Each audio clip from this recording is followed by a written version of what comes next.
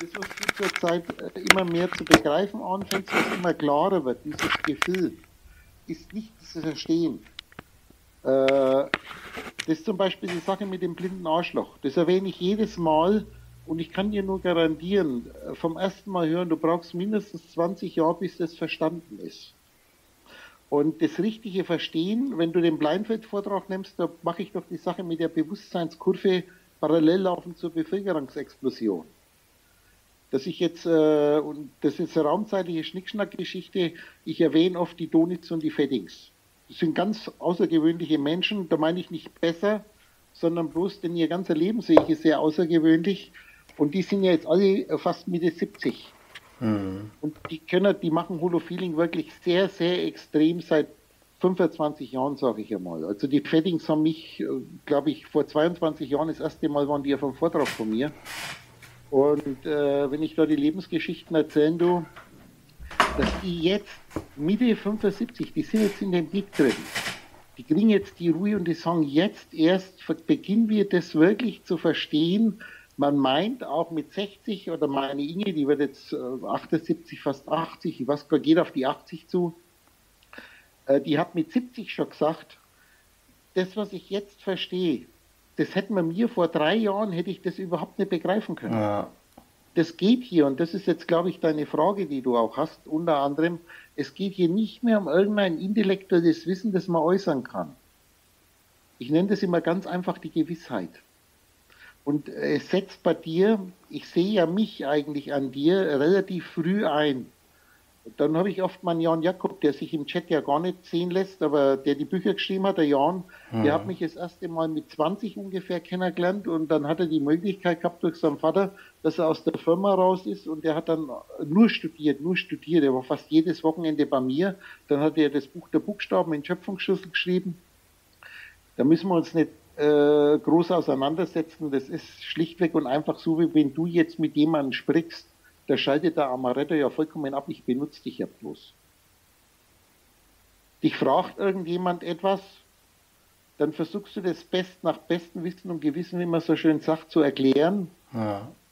Und wenn du ganz ehrlich bist, wenn du dann neben dir stehst und das Gespräch beobachtest, dass in dieser Erklärung dir ein Beispiel einfällt, das hörst du als Amaretto jetzt genauso zum ersten Mal wie dein Gegenüber. Ja, normalerweise ist es so, ja. Also seit einigen Monaten habe ich das Gefühl, es ist nicht mehr so. Das ist jetzt, das sind solche Phasen, aber da geht es nicht um richtig und verkehrt. Ja. Das ist das Hauptthema. Aber ich will kurz mit dem Jan fertig machen. Und der Jan war früher dann immer sehr beleidigt. Der hat dann diese Bücher geschrieben. Und dann ist es interessant, dann hat er ein Buch geschrieben, das letzte, Ich und vier Ich oder wie das heißt. Und äh, da hat er dann gemeint, er müsste seinen eigenen Stil machen. Da habe ich meine Inspiration abgeschalten und das ist einfach übelste, einfache, esoterische Kacke. Nach diesen tollen Büchern, wo er geschrieben mhm. hat. Und äh, da hat er dann gemeint, er müsste sich zum David machen. Hat auch kein einziges Mal das Wort Gott erwähnt, wobei, ja, er will die Masse erreichen. Ich sage, die Masse kannst du nicht erreichen. Ja. Du weißt, ich sage, die Masse geht mir am Arsch vorbei. Wer mir am meisten am Arsch vorbeigeht, das ist der Udo und du solltest irgendwann einmal erkennen, der Amaretto, in dieser Ebene geht es wirklich nur noch, und das ist der kleine besondere Trick an den ganzen Ohrenbadungen, der, der uns zwei jetzt ausdenkt. Der einzige, das wiederhole ich immer, weil das der wichtigste Satz ist, das ist der große, große Unterschied, mal abgesehen von der Vatersprache, die es nirgends anders gibt, die aber nicht wichtig ist. Du hast, die ist sehr hilfreich, wenn du mal eine gewisse äh, Reife hast in einer Schiene, da meine ich jetzt nicht die Reife, von der ich gerade gesprochen habe. Die Reife, von der ich gerade gesprochen habe, die hat überhaupt nichts mehr zu tun mit einem äußerbaren intellektuellen Wissen. Nennen wir das ganz einfach, ist die absolute Gewissheit. Die ist jenseits der Worte. Das ist dieses, äh, weißt du, wenn, ich sage immer wieder, in dem, in dem letzten Gespräch mit der Helga, werde ich in den Kleinfeldvortrag, werde ich da nochmal drauf eingehen, diese Zweierstufen. Der normale Mensch glaubt ja, er ist der Körper. Und dieser Körper ist was anderes. Ich bin was anderes wie all die anderen Sachen, die ich mir ausdenke, wobei natürlich da der Schläfer, der Schläfer da ist, dem nicht klar ist, dass er sich seinen Körper genauso ausdenkt wie all die anderen Sachen. ich bin der Körper und dieser Körper, körperliche Mensch, der glaubt, er ist der Körper und da ist natürlich jetzt auch kein Bewusstsein da. Da ist nur dieses eine, ich sage jetzt das kleine blaue Ich, das bin ich und alle anderen Sachen bin ich nicht. Jetzt, das ist unter dem Baum miteinander verbunden. Die Erscheinungen, sage ich einmal, mit diesem körperlichen Menschen, der vollkommen geistlos ist, der nur sagt, ich bin dieser Körper. Jetzt machen wir einen Zweiersprung, jetzt nehmen wir das große blaue Ich und das kleine blaue Ich das ist auch so eine Kombination. Da haben wir im Prinzip noch dasselbe Problem ohne Bewusstsein. Der, dieser Mensch sagt auch, ich bin, aber der sagt nicht mehr, ich bin dieser Körper, sondern der kann sich jetzt auch Körper in die Vergangenheit und in die Zukunft denken. Sein vom Säugling bis zum Kreis. Und alle anderen Sachen bin ich nicht. Jetzt machen wir nur mal einen Zweiersprung. Jetzt kommen wir in das rote Ich, das jetzt mit dem blauen Ich, mit seinem, der Computer, der mit seinem einem einzigen Programm zusammenhängt. Äh, das ist jetzt schon Bewusstsein, aber dieses Bewusstsein sieht nur die Bilder, die dieses Programm aufwirft und natürlich mhm. auf nur das, was momentan auf welcher Seite steht, was es hergibt. Du siehst ja mittlerweile Sachen, die vor zehn Jahren für dich erahnt waren, aber überhaupt nicht verstanden werden konnten. Ja, unmöglich. Und das Verstehen ist immer klar, wenn ich vom Verstehen rede, das ist nicht mehr intellektuelles Wissen. Das ist der große Witz, zu merken, dass da irgendwas in einem drin ist. Ich höre von so vielen Menschen, die den Udo mit 30 Jahren oder 40 Jahren im Alter von 30 oder 40 Jahren das erste Mal sprechen hören, höre ich dann immer wieder du, die dann begeistert sind, die sofort anspringen auf Holofeeling. Du, ich habe schon immer gespürt, dass irgendwas anders ist. Hm. Und ich sage, wenn das nicht in dir drin wäre, dann wäre ich in dir gar nicht auftaucht. Aber es geht nicht um den, der du zu sein glaubst, der spürt, dass irgendwas anders ist, sondern es geht um das, was du in dir spürst. Das bist du selbst. Und dann hat man sein Leben zu machen. Das hat Erfrischende. Und dann kommt, wir wollen an dem Leben nichts verändern. Das verändert sich doch von selbst. Und du wirst dann merken, die Neugier wächst, dann hat man wieder Phasen und das ist jetzt immer wieder, wo ich sage, dein Leben ist wie das Wetter. Du ja. hast keinen Einfluss drauf. Darum ist, wenn man die Selbstgespräche, jetzt die ersten, die Almena-Vorträge, da war früher vor 20 Jahren war das Hauptthema eigentlich zu verglickern, dass in der Selbstbeobachtung man merken müsste, dass man wirklich als Brösel überhaupt keine Freiheit hat. Ich spreche jetzt nur mein Speisekartenbeispiel an. Ich weiß, ist bei dir drin. Und im Alltag vergisst man halt das immer wieder. Man meint, man müsste was entscheiden und ich sage, schau einfach, wenn du dich erhebst, und du musst jetzt in diesen großen wertfreien Bereich kommen. Schau einfach, mit was der Amaretto konfrontiert wird und schau, wie er sich entscheidet und schau, wie er sich, was er sich damit einhandelt. Das ist der Lernprozess. Ja, das wird irgendwie deutlicher, so dass, dass ich da halt nicht, dass ich sowieso da nicht rauskomme. Also dass also, dass sich die Beobachtung auf die ja, Prozesse an sich richten müssen. Pedro sagen, du bist schon draußen. Du wirst doch wohl nicht glauben, dass der Amaretto mich jetzt sprechen hört. Du bist schon draußen. Du bist der, der jetzt den Udo sprechen hört. Und jetzt sag mir an dem ausgedachten Amaretto oder an den Jahren, was mich sprechen hört. Was ausgedacht ist, kann mich nicht hören. Hm. Merkst du, das, das meine ich jetzt, das, das wird sich installieren bei dir dass das absolut präsent jede Sekunde da ist. Du wirst nicht vergessen, wer du bist. Und dann bist du wer, der nicht mehr selbst an sich denkt. Ich muss jetzt ja von dem roten Ich sprechen. Ja. Und dann waren dir solche Äußerungen sofort bewusst. Aber du wirst es dich nicht einmischen, du wirst es den Amaretto sprechen lassen. Das ist das Wachstum des Bewusstseins. Naja, ich führe immer noch diese. Ne? Du hast es verstanden, ich hoffe. Das Prinzip. Ja, ja, ich sage, diese, diese Diskussion jetzt mit Fiona und so, die führe ich ja immer noch weiter, aber, aber ich bemerke sie halt, dass ich da eben keine Chance habe, dass der Prozess sich mir aufdrängt, beobachtet werden zu wollen. Und der, der jetzt beobachtet, der das merkt und der sich auch nicht einmischt, Ach so. Es ist ganz, ganz wichtig, dass du zuerst einmal in einen Zustand kommst. Pass auf, ich, die einfachen Beispiele. Hast du mein Bild, Amaretto? Ja. die, ein, die, ein, die einfachen Beispiele, die ich immer wieder wiederhole, dass man nichts verändern soll, weil jeder, das ist diese Geschichte mit dem blinden Arschloch. Jeder, der mit irgendetwas beobachtet, ich sage, egal auf welcher Stufe in unserer transversalen Hierarchie, ob er jetzt ein kleines blaues Ich ist, ist ja eh kein Bewusstsein da. Der kann sich ja nicht selber beobachten. Oder ein großes blaues Ich.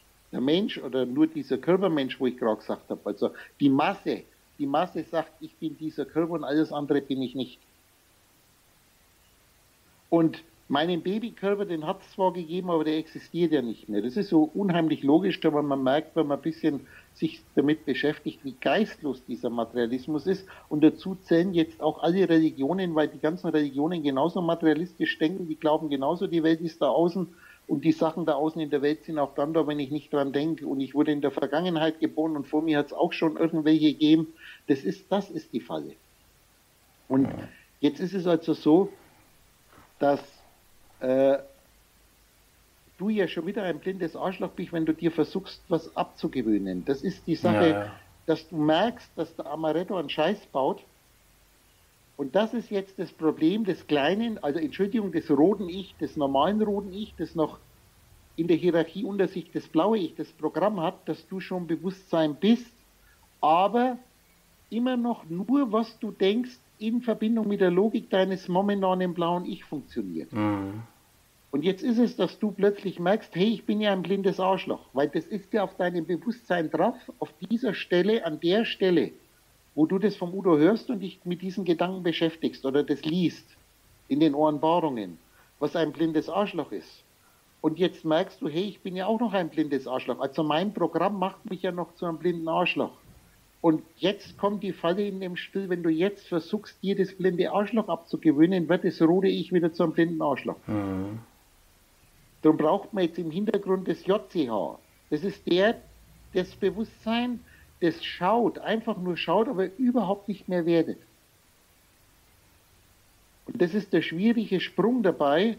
Äh, ich drücke das in einem ganz einfachen Beispiel aus. Das ist die Sache mit dem Ärger. Wenn du in der reinen wertfreien Beobachtung erkennst, dass Ärger vollkommen sinnlos ist, weil Ärger löst in dir Unwohlsein aus, ändert aber nicht das Geringste an dem, worüber du dich ärgerst. Mein Kratzerbeispiel im Auto. Das vermehrt es sogar noch. Und jetzt kommt der erste, richtig, und jetzt kommt der erste Fehler, dass wenn man das jetzt liest, in den Ohrenbarungen vom Udo hört, weil es muss ja, oder es taucht in dir durch eine Inspiration auf, aber das passiert, die Sachen funktionieren wenn anders, dann sieht es ja so aus, sobald du das registrierst als rotes Ich-Bewusstsein, zwing dich dein Programm zu versuchen, den Ärger abzugewöhnen. Und dann kommst du in eine Endlosschleife. Ja. Weil du ein blindes Arschloch bleibst. Und wenn das JCH, wenn du die Reife von dem JCH dann hast, siehst du natürlich, dass dieses rote Ich dem bewusst wird, dass Ärger nichts bringt, aber du siehst jetzt auch, dass der jetzt versucht, sich in seinem blauen Ich den Ärger rauszulöschen. Und der, nur der kann dann die Sinnlosigkeit von solchen Aktionen erkennen. Hm. Und dann durch die Erkenntnis der Sinnlosigkeit, die jetzt, wenn ich jetzt sage, das ist sinnlos, werde ich nichts, das ist eine Feststellung eines Mechanismus, löscht er sich von selbst. Dieser Ärger. Aber der Witz ist, er ist im selben Moment noch da, aber er traktiert dich nicht mehr. Ja.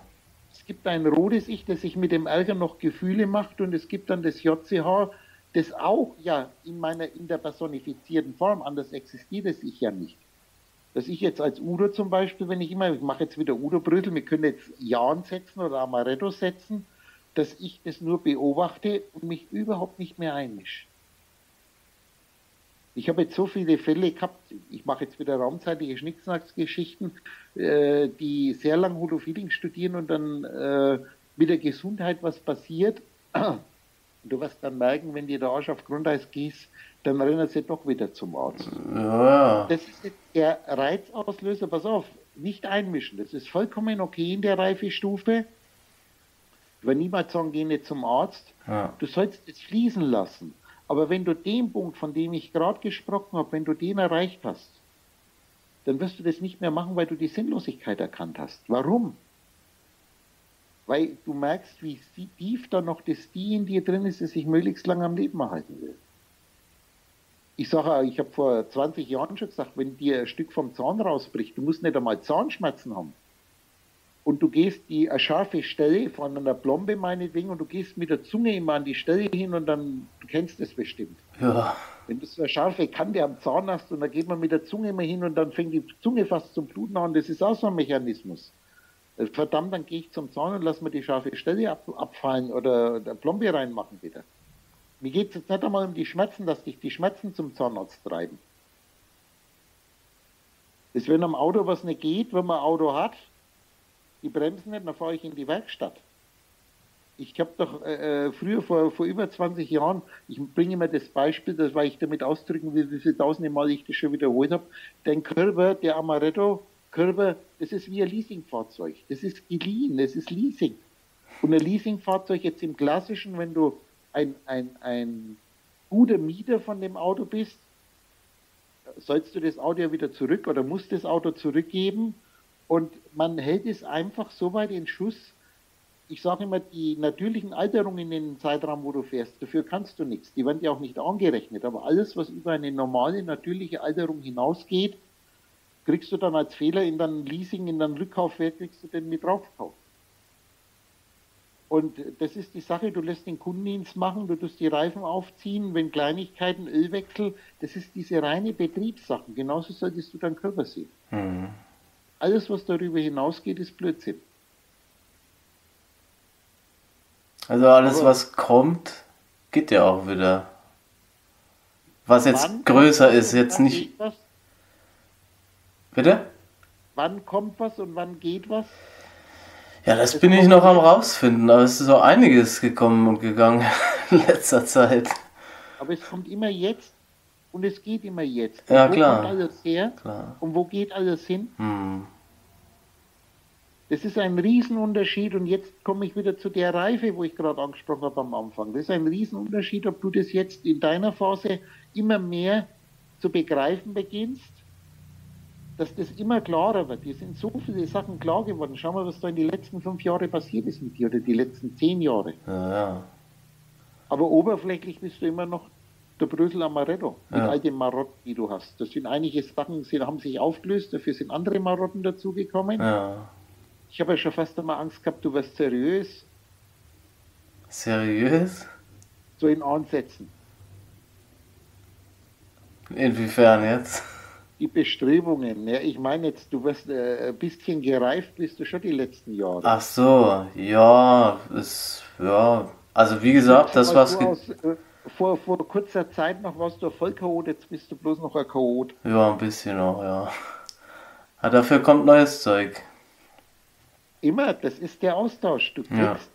es absolut neu erfordert den Verlust des Alten. Das ist die Geschichte, wo zurzeit mein Hauptthema eigentlich ist. Äh, in den Erklärungen hängt natürlich davon ab, mit wem ich spreche. Äh, äh, die Veränderung, wie drücke ich das jetzt aus, dass sich deine Interessen immer mehr verlaufen. Das ist ja der Lernprozess, den du zurzeit machst in deinen Erklärungen. Das geht schon mit deinen ersten Gesprächen an, wo du in einer kleinen Gruppe oder bloß auch das Spitz, jetzt geht schon wieder los. Es ist so vollkommen gleichgültig, ob du bloß mit einem sprichst, ob du ja. eins skypst, für 200 Menschen, wo du sitzen hast. Es ist ja nur für den, der dich ausdenkt und eventuell die anderen. Ob jetzt das ein anderer oder zwei oder fünf andere sind, spielt dabei keine Rolle. Lernen kann nur der, der, der sich die Gespräche ausdenkt. Und du wirst jetzt feststellen, das bin immer ich, ja. das rote Ich. Aber da ist natürlich, welche Gespräche ich mir ausdenke, hängt jetzt davon ab, was für ein blaues Ich ich habe, weil das das Programm ist. Denk an die Computermetapher. Das ist jetzt, ich versuche in Worten was auszudrücken, was derjenige, der meine Gedankengänge mitgeht. Wenn du anmerkst, jetzt rede ich wieder auf der normalen Ebene, wenn du merkst, dass ein Gegenüber überhaupt kein Interesse hat oder diskutieren will, dann brecht das Gespräch sofort ab. Das war die Sache mit der Fiona, da hast du nicht abbrochen. Ja, das mache ich bis heute noch nicht. Also, wie gesagt, da hast ich. Du gespiegelt, da hast du gespiegelt, äh, letztendlich nur dich gespiegelt gegenüber gehabt. Ja, ja. Du wolltest genau. ihr was erklären und sie wollte dir was erklären. Ja, sobald da so ein Spiegelcharakter da ist, findet es statt. Also bis heute noch. Und dann hängst du dich fest und dann genau. hast du so eine Endlosschleife. Das hat sich ja so lange hingezogen. Ich sage, Menschenskind, wann begreift er denn endlich das? Momentan zumindest. Ich kenne, ich habe das Fiola-System, hatte ich ja schon vor Jahren. Jetzt muss ich wieder Zeit bringen. Du weißt, was ich meine. Ich denke das jetzt. Wir ja. blättern zurück. Ich kann nicht immer sagen, wir blättern zurück. Meistens sage ich es und äh, da gibt es viele Figuren in, in, Lernprozessen, wo du hast, äh, die aber trotzdem dann ihren Sinn haben. Und wenn es bloß der Sinn ist, um Hartnäckigkeit zu erkennen. Ja, genau. Und deine eigene Hartnäckigkeit, was in dieser Beziehung jetzt des Erklären wollens, hängt immer zusammen, immer an die zwei Seiten denken mit der Hartnäckigkeit von der anderen Seite, die natürlich die andere Seite ist. Das war so ein schönes Beispiel, damals Fiona und du. Ja, ja. Es war auch lehrreich. Ja, das hat sich gezogen und gezogen. Und jetzt vor zwei Tagen oder was macht sie ihre äh, ein paar Sätze rein, ein paar so Sprachnachrichten rein. Da denke ich, oh, was ist denn ja mit der passiert? Ja, das ich auch gedacht. Ist die auch so gegangen? Ja, ja, voll. Die also. muss so gegangen sein, weil du ich bist. Man registriert es dann mit einem gewissen Schmunzeln. Ob sich das jetzt hält, das ist natürlich wieder eine andere Frage. Aber merkst du, die ganze Sprache, die ich jetzt äh, grammatikalisch darstelle, ist schon wieder, ob sich das hält, ist schon wieder Gedanke an die Zukunft. Mhm. Und das ist jetzt das große, der große Verwandlung ist, wenn du von dem roten Ich zu dem roten JCH kommst, dass das, was ich jetzt immer wieder gefüllt nachher danach dir erklären kann, ich habe jetzt gesagt, ob sich das hält. Und dann sage ich, merkst du, das war jetzt schon wieder Worte, die jetzt aufgetaucht sind, die eine Illusion von Zukunft erzeugen. Ja. Das absolute Bewusstsein ist dir jede Kleinigkeit, die du äußerst, ist dir genau bewusst, dass du dir das jetzt dahin denkst, dass du dir das jetzt denkst, dass du dir jetzt das denkst und immer jetzt. Das ist das Bewusstsein. Das ist nicht mehr Wissen, sondern das ist reine Wahrnehmung. Was ja. ist jetzt da? Man kann das in einem Satz sagen. Du musst dir, wenn du das dann von dem roten Ich zu dem JCH wirst, ist dir jeden Moment klar, was du jetzt äußerst. Das geht bis hin, du weißt, wenn die Zeile, fünf Worte, ich sehe jetzt die fünf Worte.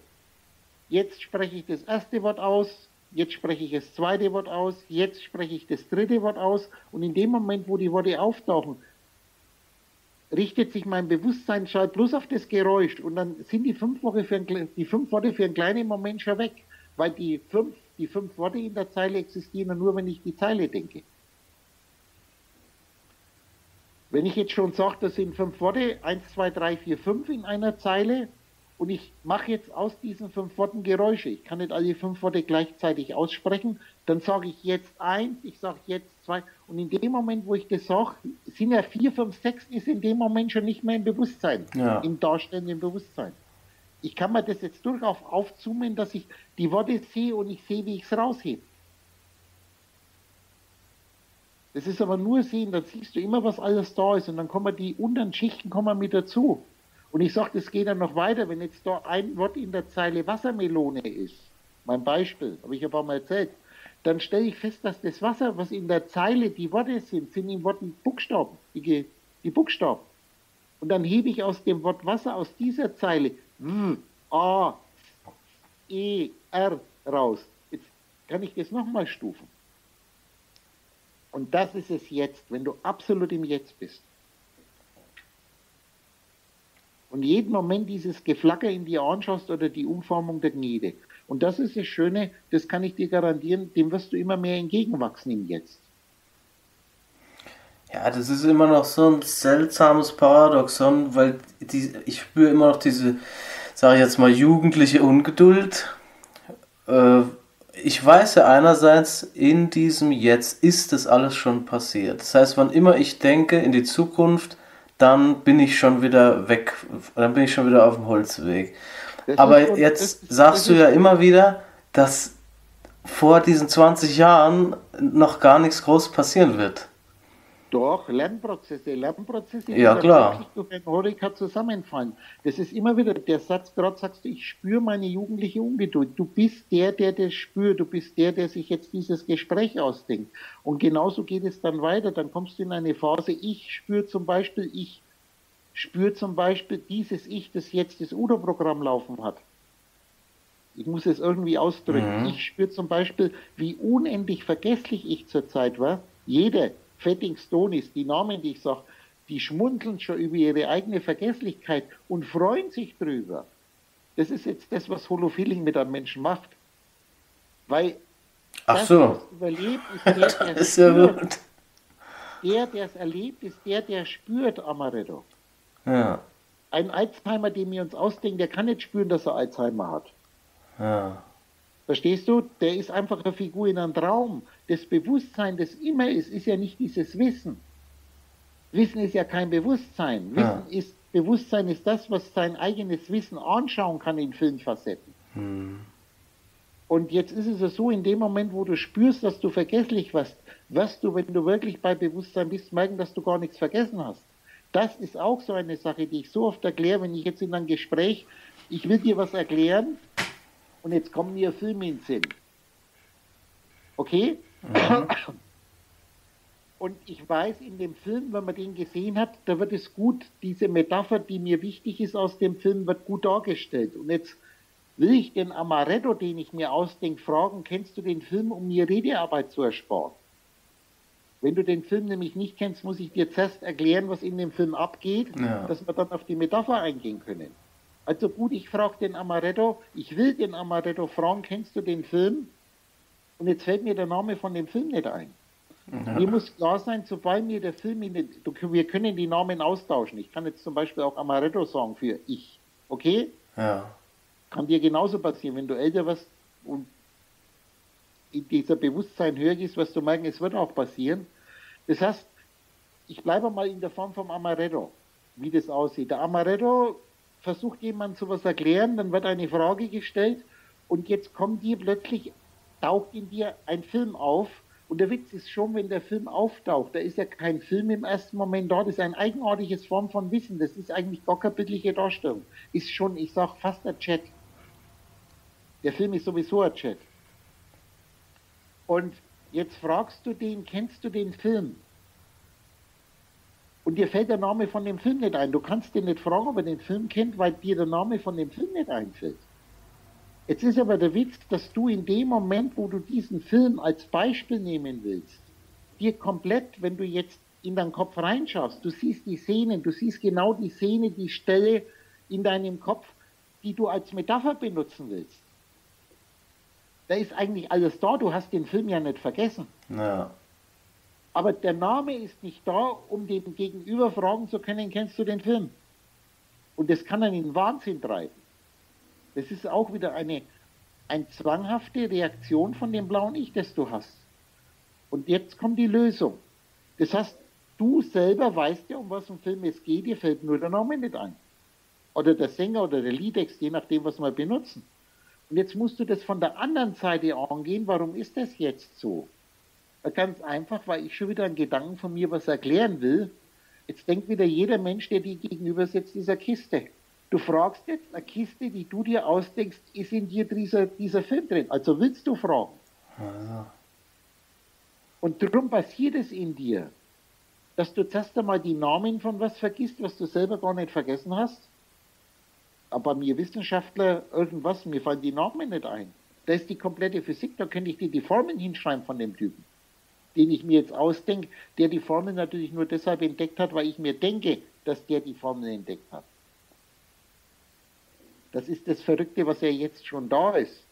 Was du zum Beispiel über Platon weißt, ist das, was du dir angelesen hast. Und da kann man unheimlich viel sich anlesen. Das sind ja alles nur Chatordner, hm. die, die du praktisch in dir Geist aktiviert hast jetzt denk an unsere Hierarchie. Du bist der Computer, auf deinem Bildschirm kann nur auftauchen an dem, was du am Programm laufen hast. Die Programme, die in dir laufen, das sind die, die du schon wie Bücher oder Kapitel durchgearbeitet hast, die du freigeschalten hast. Das sind aber noch viele andere Programme jetzt auf der tiefen Schicht, die du aus dem Internet holen kannst, die du jederzeit aus dir rausholen kannst. Es geht nicht um Wissen. Mein schönstes Beispiel zurzeit, ich habe viele schöne Beispiele, wenn du jetzt träumst, Amaretto, und du setzt dich an den Computer, du gehst jetzt ins Internet und du interessierst dich meinetwegen für Sokrates, Platons Lehrer. Musst du Platon-Schriften aufmachen und dann tauchen dann diese ganzen Platon-Schriften auf. Kann man im Internet alle kostenlos lesen.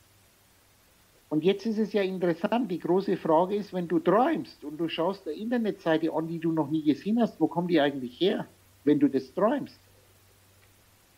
Die Schwierigkeit ist zuerst einmal, dass von außen überhaupt nichts kommt. Da außen gibt es kein Internet. Ich sage immer, das heißt Internet und nicht Außernet. Es ist ja eh schon alles in dir drin. Und man, man setzt das reine intellektuelle, denkbare Wissen, setzt man so unheimlich hoch in der Welt. Das ist vergänglich, wie jeder Gedanke vergänglich ist. Das Ziel ist die Weisheit. Das ist wie das weiße Licht, das ja angeblich alle Farben gleichzeitig ist. Wirst du, wenn du ein, ein weißer Geist wirst, weiße jetzt nicht mit scharfem S geschrieben, sondern mit normalem S, weiß mit scharfem S ist es Weib. Dieser Beta-Effekt. Ja. Und da nennt man natürlich jetzt auch die Farbe, nennen wir auch mit einem scharfen S. Die weiße Farbe. Aber die weiße Farbe ist nicht das Weiß, von dem ich rede. Das mhm. Weiß, von dem ich rede, ist unsichtbar das weiße Licht in der Physik, das aus allen Farben besteht, ist nicht das, was man normal weißes Licht nennt, äh, weil weißes Licht in der Form gibt es eigentlich gar nicht. Ist das, was das Licht sieht? Hm? Ist das, was das, das Licht sieht? Das ist, du bist das Licht. Die Sache ja. mit der Rose. Du kennst, du hast so viel studiert in den Ohrenpaarungen. Mein Rosenbeispiel. Kannst dich erinnern? Muss ich jetzt kurz an, ansprechen? Äh, es kann sein, dass ich da noch gar nicht war. Also ich habe wirklich nur die ersten beiden Bände kein gelesen. Problem, kein Problem. Ich habe jetzt nicht den Amaretto gefragt, ich habe den Geist gefragt, der uns ausdenkt. Mhm. Kannst du dich erinnern? Ja. Das ist der Unterschied. Ich rede ja nur mit dem Geist, der uns ausdenkt. Pass auf, Beispiel. Die Rose ist rot. Wie funktioniert es? Was erklärt uns die Physik? Wir haben eine Sonne oder irgendeine Lichtwelle, die, ist, die strahlt weißes Licht aus. Physikalisch definiert ist weißes Licht ein Gemisch von sämtlichen Wellenlängen, sprich Farben, gleichzeitig. Weißes Licht kann man nicht sehen. Wenn dieses weißes Licht auf die Oberfläche der roten Rose trifft, absorbiert diese Oberfläche sämtliche Farbfrequenzen, also sämtliche Farben, bis auf die Frequenz Rot. Die wird reflektiert, geht zum Auge von dem Zuschauer, geht in mein Auge rein, wenn man normal redet, und wenn dann das an der Retina wird es auf den Zäpfchen, werden die Rotzapfen angeregt ich gebe mal Signal weiter und dann sehe ich die Farbe rot.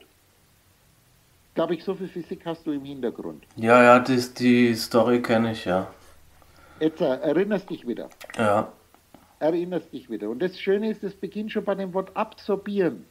Wenn dieses Frequenzgemisch, das Farbgemisch auf die Rose trifft, absorbiert, das heißt verschluckt, verschluckt die Rose sämtliche Farben, sämtliche Frequenzen, nur das Rot wird reflektiert. Das heißt, absorbieren heißt verschlucken. Ich könnte es noch einfacher ausdrücken. Ist Essen. Frisst diese Oberfläche alle Frequenzen, alle Farben auf, nur die rote Marksende, die wird reflektiert. Mhm. Der normale Mensch sagt, warum ist die Rose, äh, die rote ist, die, die, die Rose, Entschuldigung, ist rot, ist, jetzt in Form von Essen, ist rot. Ich sage, nein, rot ist die einzige Farbe, die sie nicht ist. Die sie nicht verschluckt diese nicht absorbiert. Die Rose ist alle Farben, bis auf die rote Farbe, sonst könnte ich sie nicht sehen. Jetzt können wir das erweitern, das Beispiel Amaretto. Ich sage jetzt, das weiße Licht, das ist übrigens so in Wirklichkeit, weil das weiße Licht ist dein Geist. Ja. Das absorbiert nicht nur sämtliche Farben, die Frequenzen, sondern auch sämtliche Gerüche und sämtliche Formen. Dieses weiße Licht ist sämtliche Formen, sämtliche Gerüche, sämtliche Gefühle, alles gleichzeitig. Und es trifft jetzt auf das Objekt Rose. Und die Rose ist, sie verschluckt, sie ist sämtliche Farben bis auf die rote Farbe. Sie ist sämtliche Formen bis auf die Rosenform. Und sie ist sämtliche Gefühle, haben wir in der Rose nicht, müssen wir wegmachen. Okay, Nur rot und die Rosenform wird reflektiert und geht in dich rein und darum siehst du diese rote Rose.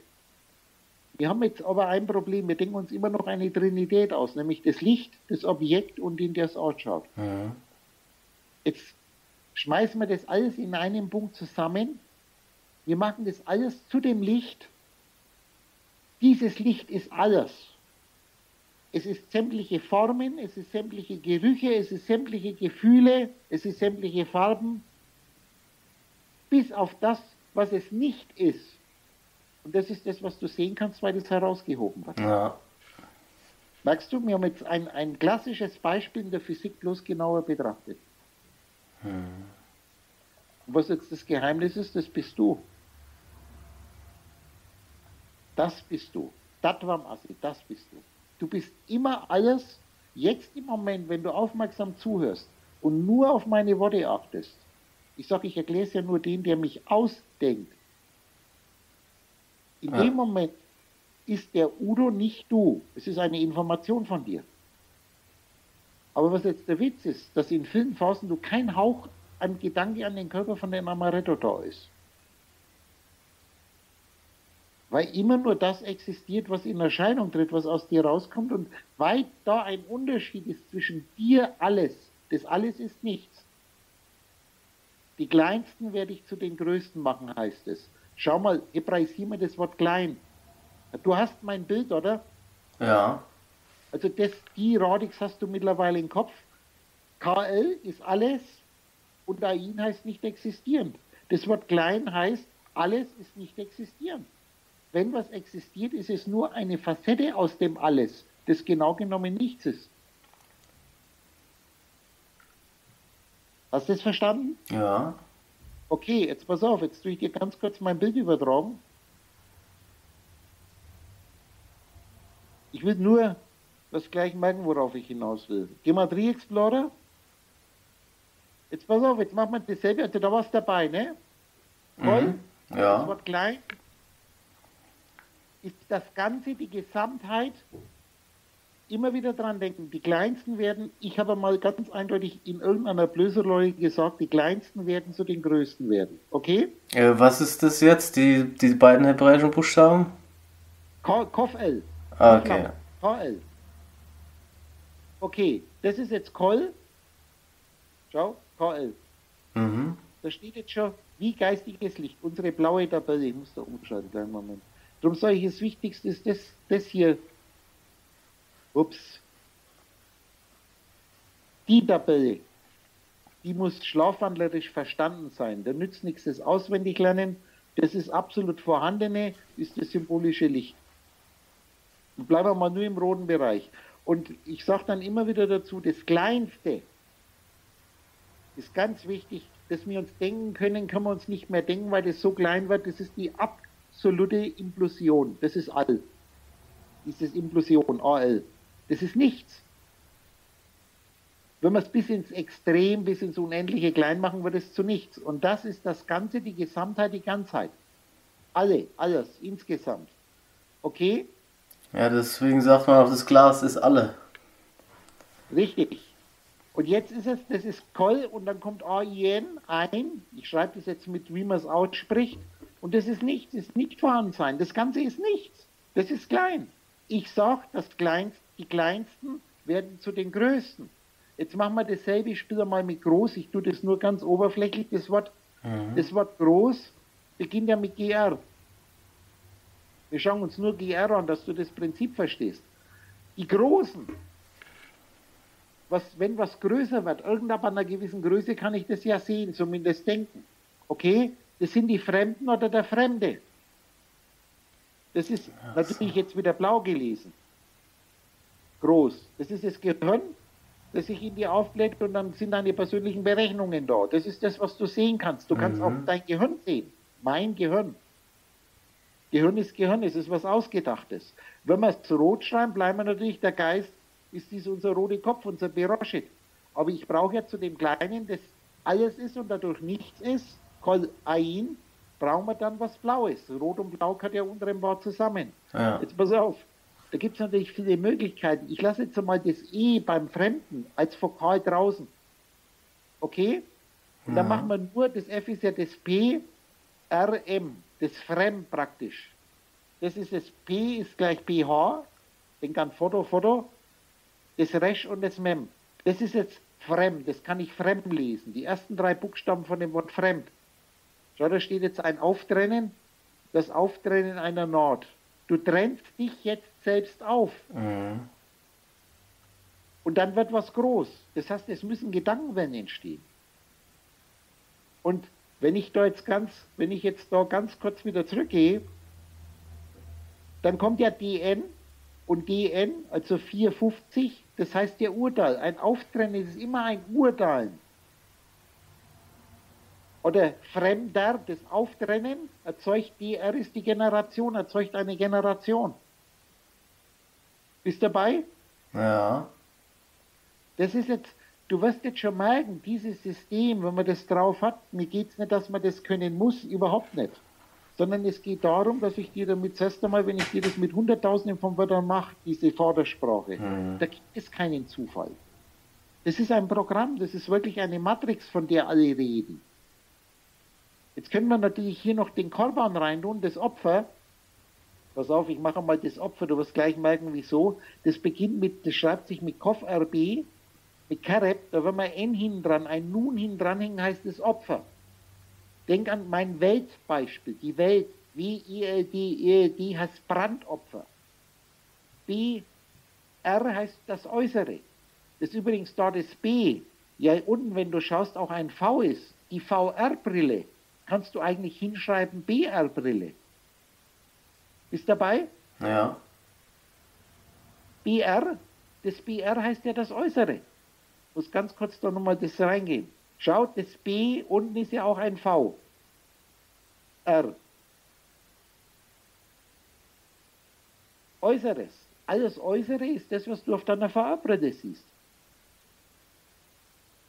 Aber das ist ja jetzt hier rot geschrieben. Das, Moment, das ist jetzt, das sind jetzt Fehler. Das sind, du kannst erst einmal alle wieder rot und blau machen.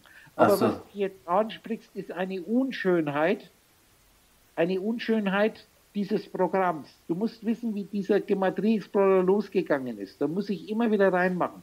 Das Programm, ich denke mir jetzt einen Andreas aus, der hat das Programm geschrieben. Und da ist es losgegangen, da hat, du hast keine hebräisch Wörterbücher bekommen. Und dann hat er folgenden Trick gemacht, dass er hier sich ein kleines Programm geschrieben hat und hat die Wörter, gibt ja Internet-Wörterbücher hebräisch-englisch, die hat es gegeben im Internet, aber keine Dateien. Und dann hat er ganz einfach mit einem Programm in einem Internetwörterbuch hat er deutsche Wörter abgefragt.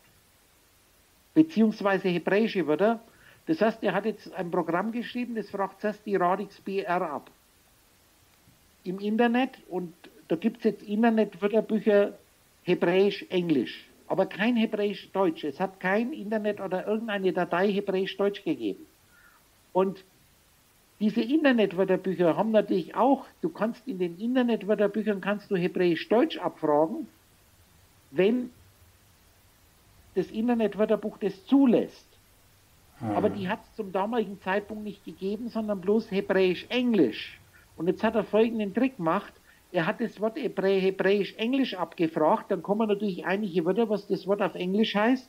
Ach so. Und diese englischen Wörterbücher hat er dann wieder rückübersetzt mit einem elektronischen Wörterbuch ah, vom Englischen ins Deutsche. Und dann kommt hier ein Riesenschwall, das ist das, was da oben steht. Das, was bei Nomen steht, ist eigentlich nicht die korrekte Übersetzung von dem Wörterbuch. Ich pass auf, ich mache es mal folgendes. Ich habe ja ungefähr, ja, ich glaube, sechs, sechs Hebräisch-Deutsch-Wörterbücher da. Schriftlich, Papier. Okay? Ich habe sogar als Faksimile dieses Wörterbuch des Luther zum Übersetzen der Bibel angeblich benutzt hat. Ich rede jetzt normal, muss ich nicht immer dazu sagen. Genau dieses Wörterbuch steht mir zur Verfügung, das der gehabt hat, um die Bibel zu übersetzen. Ich rede jetzt bloß als Brüssel Udo ganz normal zu dir. Und wenn du jetzt in diesen ganzen Wörterbüchern, das hochinteressant ist, die gehen übrigens rein bis ins 15. Jahrhundert, wenn du da nachschaust, hat sich da natürlich einiges verändert. In dem Langenscheid stehen ja Sachen drin, die zum Beispiel im Gesenius nicht drin stehen. Äh, und dann groß, da gibt es viele, viele Siegfried und Stade, das sind zwei dicke Oschis, die muss er dann nicht zeigen, das ist ein halbes Bücherregal, nur Hebräisch-Deutsch-Wörterbüchern, aber in der Zeit, jetzt uns ausgedachten Vergangenheit zurückgedacht. Und du wirst feststellen, dass da in vielen Wörterbüchern was drinsteht, was in anderen Wörterbüchern nicht drinsteht. Aber das ist wie Puzzlestücke, die zu dem Wort gehören. Das habe ich ja oft erklärt. Was jetzt hier ist, dass hier Wörter in dieser Reihe da oben Wörter drin sind, die in diesen ganzen Hebräisch-Deutsch-Wörterbüchern nicht drinstehen. Und zwar deshalb, weil diese, diese, nur diese Nomen, diese unter dem Wort die ersten Rot-Blau-Schreibungen hier, ist entstanden, indem mit elektronischen Wörterbüchern durch ein Programm ein hebräisches Wort in Englisch übersetzt wurde und diese Englisch-Wörterbücher, die jetzt auftauchen, ins Deutsche übersetzt werden. Und dann bläht sich das natürlich auf, weil ja. wenn wir jetzt hier was reinmachen, im Englischen, mir fällt jetzt kein Beispiel ein, wenn du da oben zum Beispiel, wenn du dir jetzt den hier aufmachst, warte mal schnell, was mache ich denn jetzt? Ach, das, du kannst dir das vorstellen. Wenn du den Google-Übersetzer raufmachst, dann hast du, wenn du jetzt ein englisches Wort übersetzt, ist er ihr oft nicht ein, nur ein einzig. Ach, pass auf, wir machen das ganz einfach so.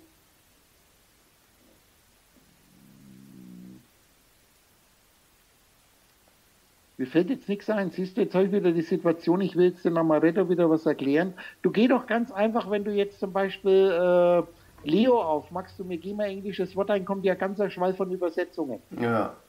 Jetzt bist du dabei. Und das, das verteilt sich dann, wenn ich es wieder in eine andere Sprache übersetze. Wenn wir jetzt dieses eine englische Wort, wo wir uns denken, das wäre dasselbe mit einem englischen Wort.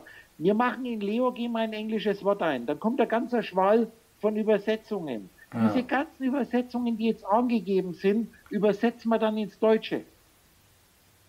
Jetzt passiert aber folgendes, wenn du ein deutsches Wort eingibst in Leo und würdest es auf Englisch übersetzen, kommt der ganze Schwall englischer Wörter. Ja. Und er hat jetzt Folgendes gemacht, er hat praktisch hier das hebräische Wort eingegeben, dann kommt ein Schwall deutscher Wörter und jedes dieser deutschen Wörter hat er dann wieder über, übersetzt.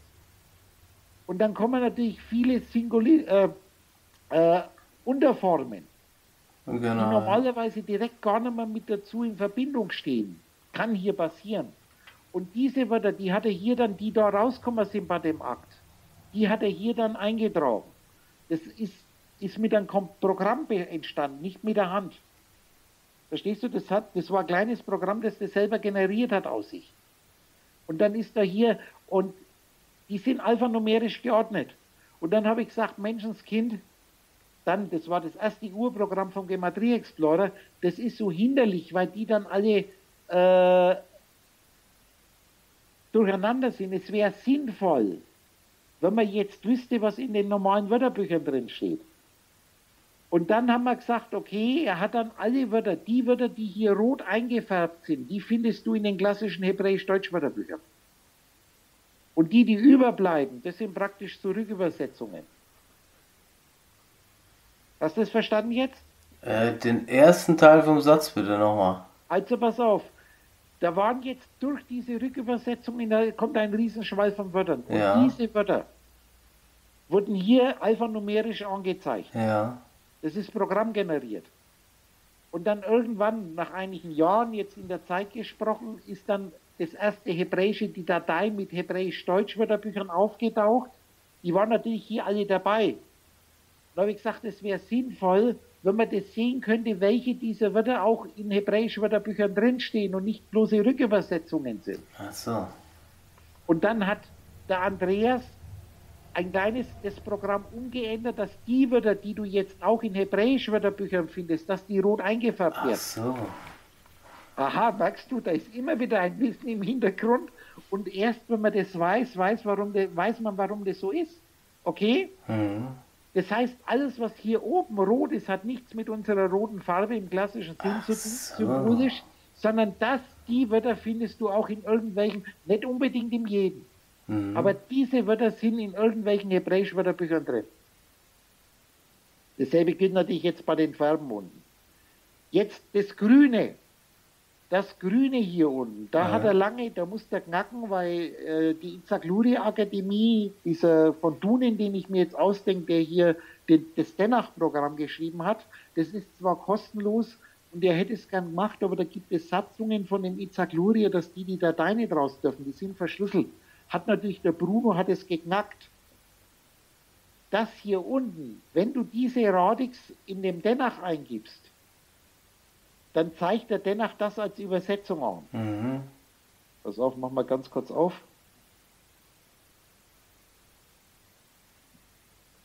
Denach, müssen wir jetzt gar nicht so viel rumtun.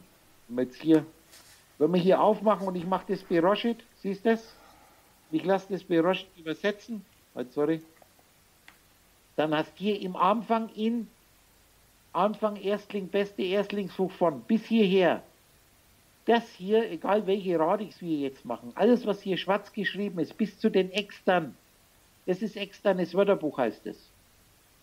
Das zeigt das ist jetzt eine von jüdischen Gelehrten, ich rede jetzt raumzeitlich, Rotterdam, die Isaac Luria Kabbalah Schule, die übersetzen es so, darum sage ich immer wieder, wenn ich das Grüne jetzt nehme, das sind original jüdische Gelehrte, die diese Radix so in der klassischen deutschen Übersetzung wird je, je nachdem an welcher Stelle dieses Wort auftaucht, das ist so übersetzt. Mhm. Okay. Also ich habe die ganze Zeit auch gedacht, dass dieses Grün auch irgendwas mit der Schreibweise, mit Nein, der Denkweise nur, zu tun hat. Das hat er nur grün gemacht. Das Grün ist einzig und allein aus dem Denach-Programm. Darum sage ich immer, wenn ich das kurz anspreche, so diese Radix, wenn auftaucht, auch in einer hebräischen Tageszeitung, kann das, was da unten steht, so, so wird es übersetzt. Ja, Je nach Kontext. Ja, jetzt ergibt das Sinn. Weil ich hatte schon richtig Bammel, so es gibt ja auch Texte, da ist noch lila und gelb und alles. Alter, pass auf, pass auf, ich erkläre dir, das wurde ja sehr spät erst hinzugefügt. Ja. Die Schwierigkeit ist außerdem, dass dieses Programm hier ist nicht mit Unicode oder Standard geschrieben. Du kannst hier zum Beispiel das zwar kopieren und innerhalb dieser Kopien im Programm arbeiten, aber du kannst das, das nicht reinziehen in ein normales Dokument, weil das hier, auch hier, das kannst du zwar, wenn du da was machst, das ist kein Unicode, das ist eine eigene Norm, das ist also nicht, ist nicht kompatibel mit irgendwelchen Windows- oder Standard-Internet. Ja, krass. Okay? Und das gilt, dasselbe gilt für das da unten. Das heißt, nachdem er das entschlüsselt, nachdem er den Code geknackt hat, weil das ist, ist verschlüsselt, diese Dateien. Mhm. Die wird, das Wörterbuch, wo in dem Programm drin ist, kannst du nicht einfach anschauen. Das ist verschlüsselt und er hat es geknackt und dann hat er das da mit dran gehängt. Okay? Das mhm. war jetzt aber noch nicht so lang drin. Das war jetzt der erste, der Ur. Dies da oben war zuerst einmal nur alles blau mit Rückübersetzungen. Dann haben wir irgendwann einmal ein reines hebräisch Internetdatei gefunden im Internet nach Jahren. Dann hat er hier die, die in der Internetdatei in den Wörterbüchern drin waren, hat er dann rot eingefärbt, dass man genau weiß, wenn es rot eingefärbt ist, das steht auch Schau, das Reinigungsmittel Bar heißt nicht Reinigungsmittel, das kommt von Reinheit und in Rückübersetzung kommt dann der Reinigungsmittel raus. Ach so, ja. Okay? Und der Balken, die Bar, hat nichts zu tun mit der Bar, mit dem Nachtlokal, sondern das Wort Bar ist entstanden Nackt. in alten Wirtshäusern. Wir reiten zum Beispiel mit unseren Pferden und wir kommen nach altes Wirtshaus, wo wir übernachten wollen oder was trinken wollen oder was essen wollen. Und da hat man irgendwann jetzt in der Etymologie, wir bauen jetzt übrigens Vergangenheit auf, das muss dir bewusst sein, gell? Ich mache jetzt, ich gehe mich mit Worten in die Vergangenheit. Da hat man dann irgendwann einmal den reinen Schankbetrieb, wo nur was ausgeschenkt wurde und wo Leute was essen wollten, hat man mit einem Barren, mit einem Balken getrennt. Und da kommt das Wort Bar her etymologisch, laut Wörterbüchern. Okay? Mhm. Und da wird natürlich aus der Bar dann plötzlich in einer Rückübersetzung ein Bistro. Ach so, ja klar. Verstehst du, wenn ja. das Wort Bar Überbegriff Bistro hat überhaupt mit dem gar nichts zu tun. Das mhm. kommt aus dem Wort Barren, Balken. Das sind all die Wörterbücher nennen ja den Balken einen Barren, eine Kurzform ist Bar davor. Okay? Dann die Reinheit ist ja schön, in deinem Kopf ist eine Einheit. Da könnte ich jetzt sagen, da passt das rot geschriebene, wenn wir nach dem anderen Strichchen reinmachen. Also das ist jetzt klar, okay? Ja. Jetzt kommen wir da runter zum Kommentar. Der Kommentar, was hier Kommentar heißt, das ist hier das Extern. Das ist das, was ich gemacht habe. Jetzt ich meine ich den Udo. Ich habe jetzt hier ein externes Wörterbuch angelegt und habe zuerst einmal, was in dem extern drin steht, Quere heißt lies es so, das ist ein Begriff aus der hebräischen Grammatik oder der Lehre. Quere ist das hebräische Wort, lies es auch so. Also lies, wir müssen da wieder rein. Schau, da kommt jetzt Quere, lies B, rasch, it. Das heißt, in diesen Kopf. Jetzt mache ich die Übersetzung im Kopf, ist eine plus-minus-intellektuelle Erscheinung. Hier unten wiederum kann ich nur zwei Farben einstellen in dem Denach-Programm, nämlich dieses dünnere, mhm. die Tricks und Rot. Das muss man in dem Denach-Programm, das ist ein ganz eigenständiger Satzort.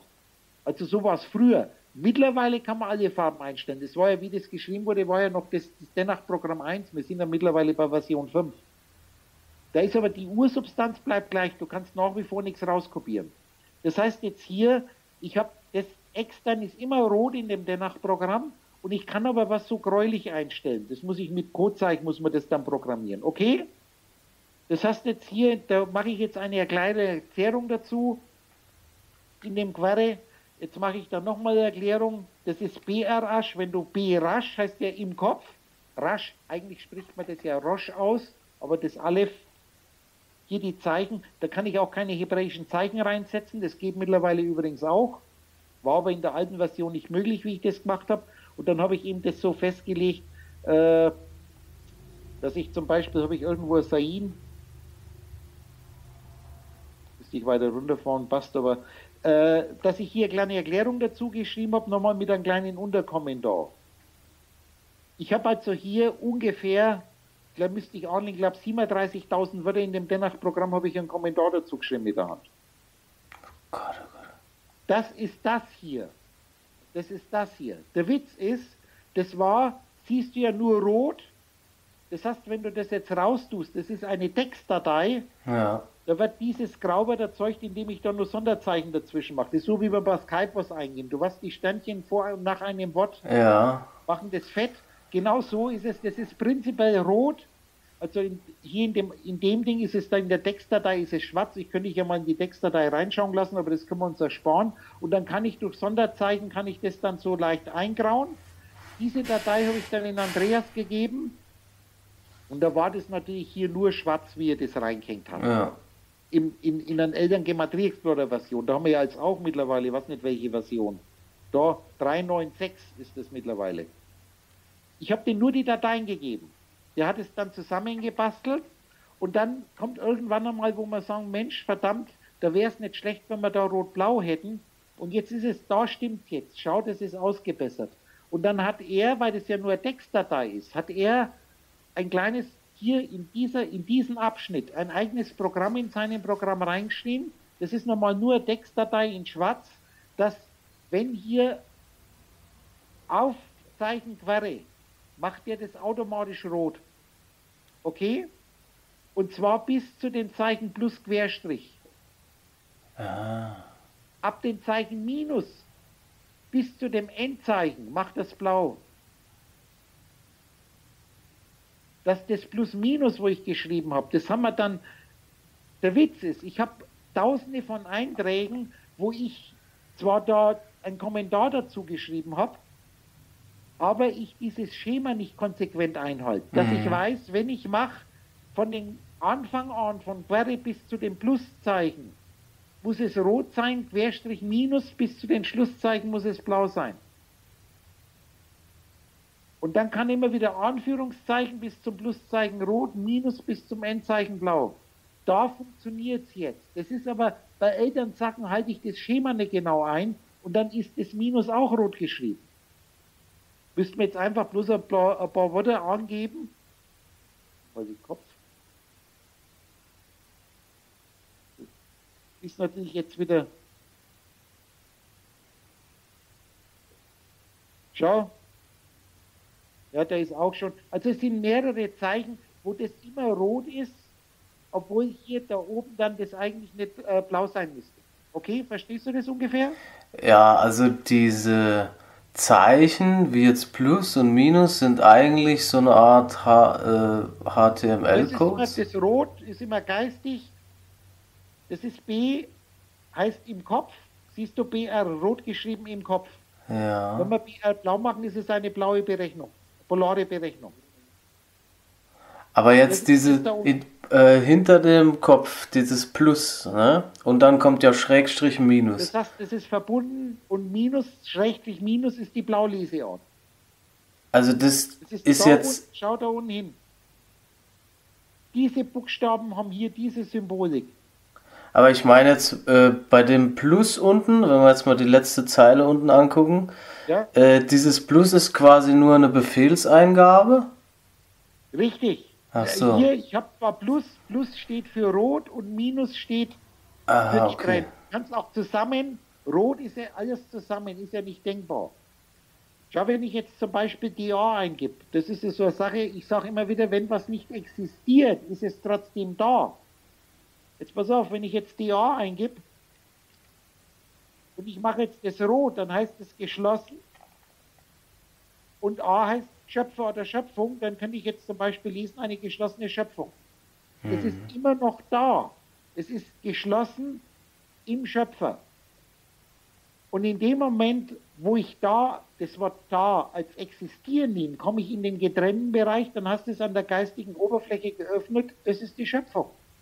Das heißt, das blau geschriebene da heißt existieren, ist nur ein anderes Wort für existieren und das rot geschriebene da ist geschlossen im Schöpfer. Das ist eigentlich im Meer, mhm. aber es ist keine Welle. Und dann gibt es ja noch so eine äh, Wellenzeichen und ist größer als und so. Sind das auch alles nur Befehlseingaben? Das, nein, hier, hier, das ist jetzt nur, das ist jetzt nur die Welle. Hier die Welle zum ja. Beispiel. Da will ich Ihnen zeigen, dass das da unter eine geöffnete Schöpfung ist, eine Welle. Das ist übrigens auch, da ist am Anfang sind nur Strichchen dort. Erst ab einer gewissen Zeit, wo ich Sachen eingegeben habe, habe ich dann mich einheitlich an eine Normierung gehalten. Hm. Ich habe dann sehr viele nachgebessert, aber nicht die ganzen paar 30.000, wo ich eingegeben habe. Mittlerweile ist es ja so erweitert, der Redo hat sich hingesetzt, der hat den kompletten Langentscheid. Moment, ich muss nachlesen. Im Langentscheid sind 30.000 Hauptstichwörter drin und insgesamt bestimmt über 50.000 Unterbegriffe, wenn du es durchblätterst. Ich habe nur den Langenscheid, die Hauptstrich, wenn du einen Langenscheid einmal aufmachst, da ist ja immer ein, ein Grundradigswort und dann kommt ja oft anderthalb Seiten auf eine Seite Unterbegriffe, die mit dem Wort zusammenhängen. Da sind das nur die Hauptbegriffe eingegeben worden. Der Redo hat dann komplett den kompletten Langenscheid mit der Hand eingegeben. Das, das geht nur mit Programm. Bitte? Das geht nur mit Programm, sowas. Sowas wird ja, Monate, es gibt den Langenscheid gibt es nicht als Datei, das ist geschützt. Ach und so. dann ist es, dann kommt natürlich hier, dann kommt noch der DIP. Der Redo hat für sich dann selber diese DIP-Datei, siehst du, hat er das dann die Farben oft angepasst. Das müsste man jetzt je nachdem, was für Wörter du halt hast. Wenn man jetzt zum Beispiel, ich gehe mal da ganz kurz nochmal den Kareb, also Korban heißt Opfer. Okay, das ist, wird meistens mit Opfer übersetzt eine Darbringung. Jetzt pass auf, interessant. Kor selber und Ben. Da haben wir ja den Ben hinten. Und wenn du das Kor magst, das ist eine affine Berechnung blau, darum nenne ich das immer so. Und das ist das Wort für kalt, fleckig. Jetzt ist wie alternieren. Bei kalt denkst du immer an alternieren. Alt ist alternieren, kalt. Und dann erzeugst du natürlich irgendwelche Facetten in dir. Und die symbolisieren wir mit Ecken. Du wirst dann fleckig, wenn du alternierst. Sehr interessant übrigens, sehr interessant ist das Wort Mauer oder das Wort Wand, wenn man das wieder rückübersetzt, aber ich will da nicht so weit reingehen. Ja. Dann haben wir praktisch hier eine kalte polare Existenz und kalt, ja, ich will jetzt da nicht so arg ins Detail gehen. Was mir wichtig ist, was ich dir zeigen wollte, dass also hier, schau her, da habe ich jetzt so eine Situation, da habe ich geschrieben, Quere eine affine Rationalität. Mit der Welle müsste eigentlich blau sein. Das ist nicht blau, weil wir hier vorne nicht dieses Hin, dieses Plus stehen haben. Ja. Mit dem Querstrich. Das ist noch eine alte, eine alte Eingabe von mir. Schau, K, K alt, alternieren. Das müsste normalerweise, das T hinten müsste blau sein. K all rot, dann Plus, Querstrich, minus T alternierend. Verstehst du mich? Mhm. Und in der ZIP-Datei hat der Redo das jetzt ausgebessert. Siehst du, das widerspricht sich hier.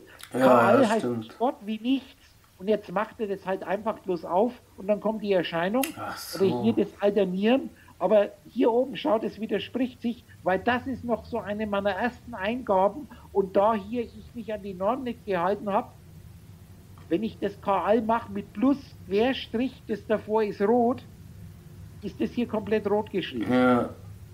Jetzt sind wir dabei.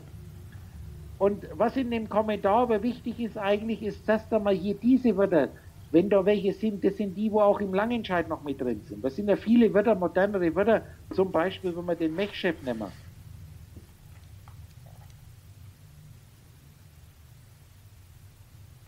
Schau, das ist der Computer, Datenverarbeitung, elektronische Rechnung, Rechnungsführer.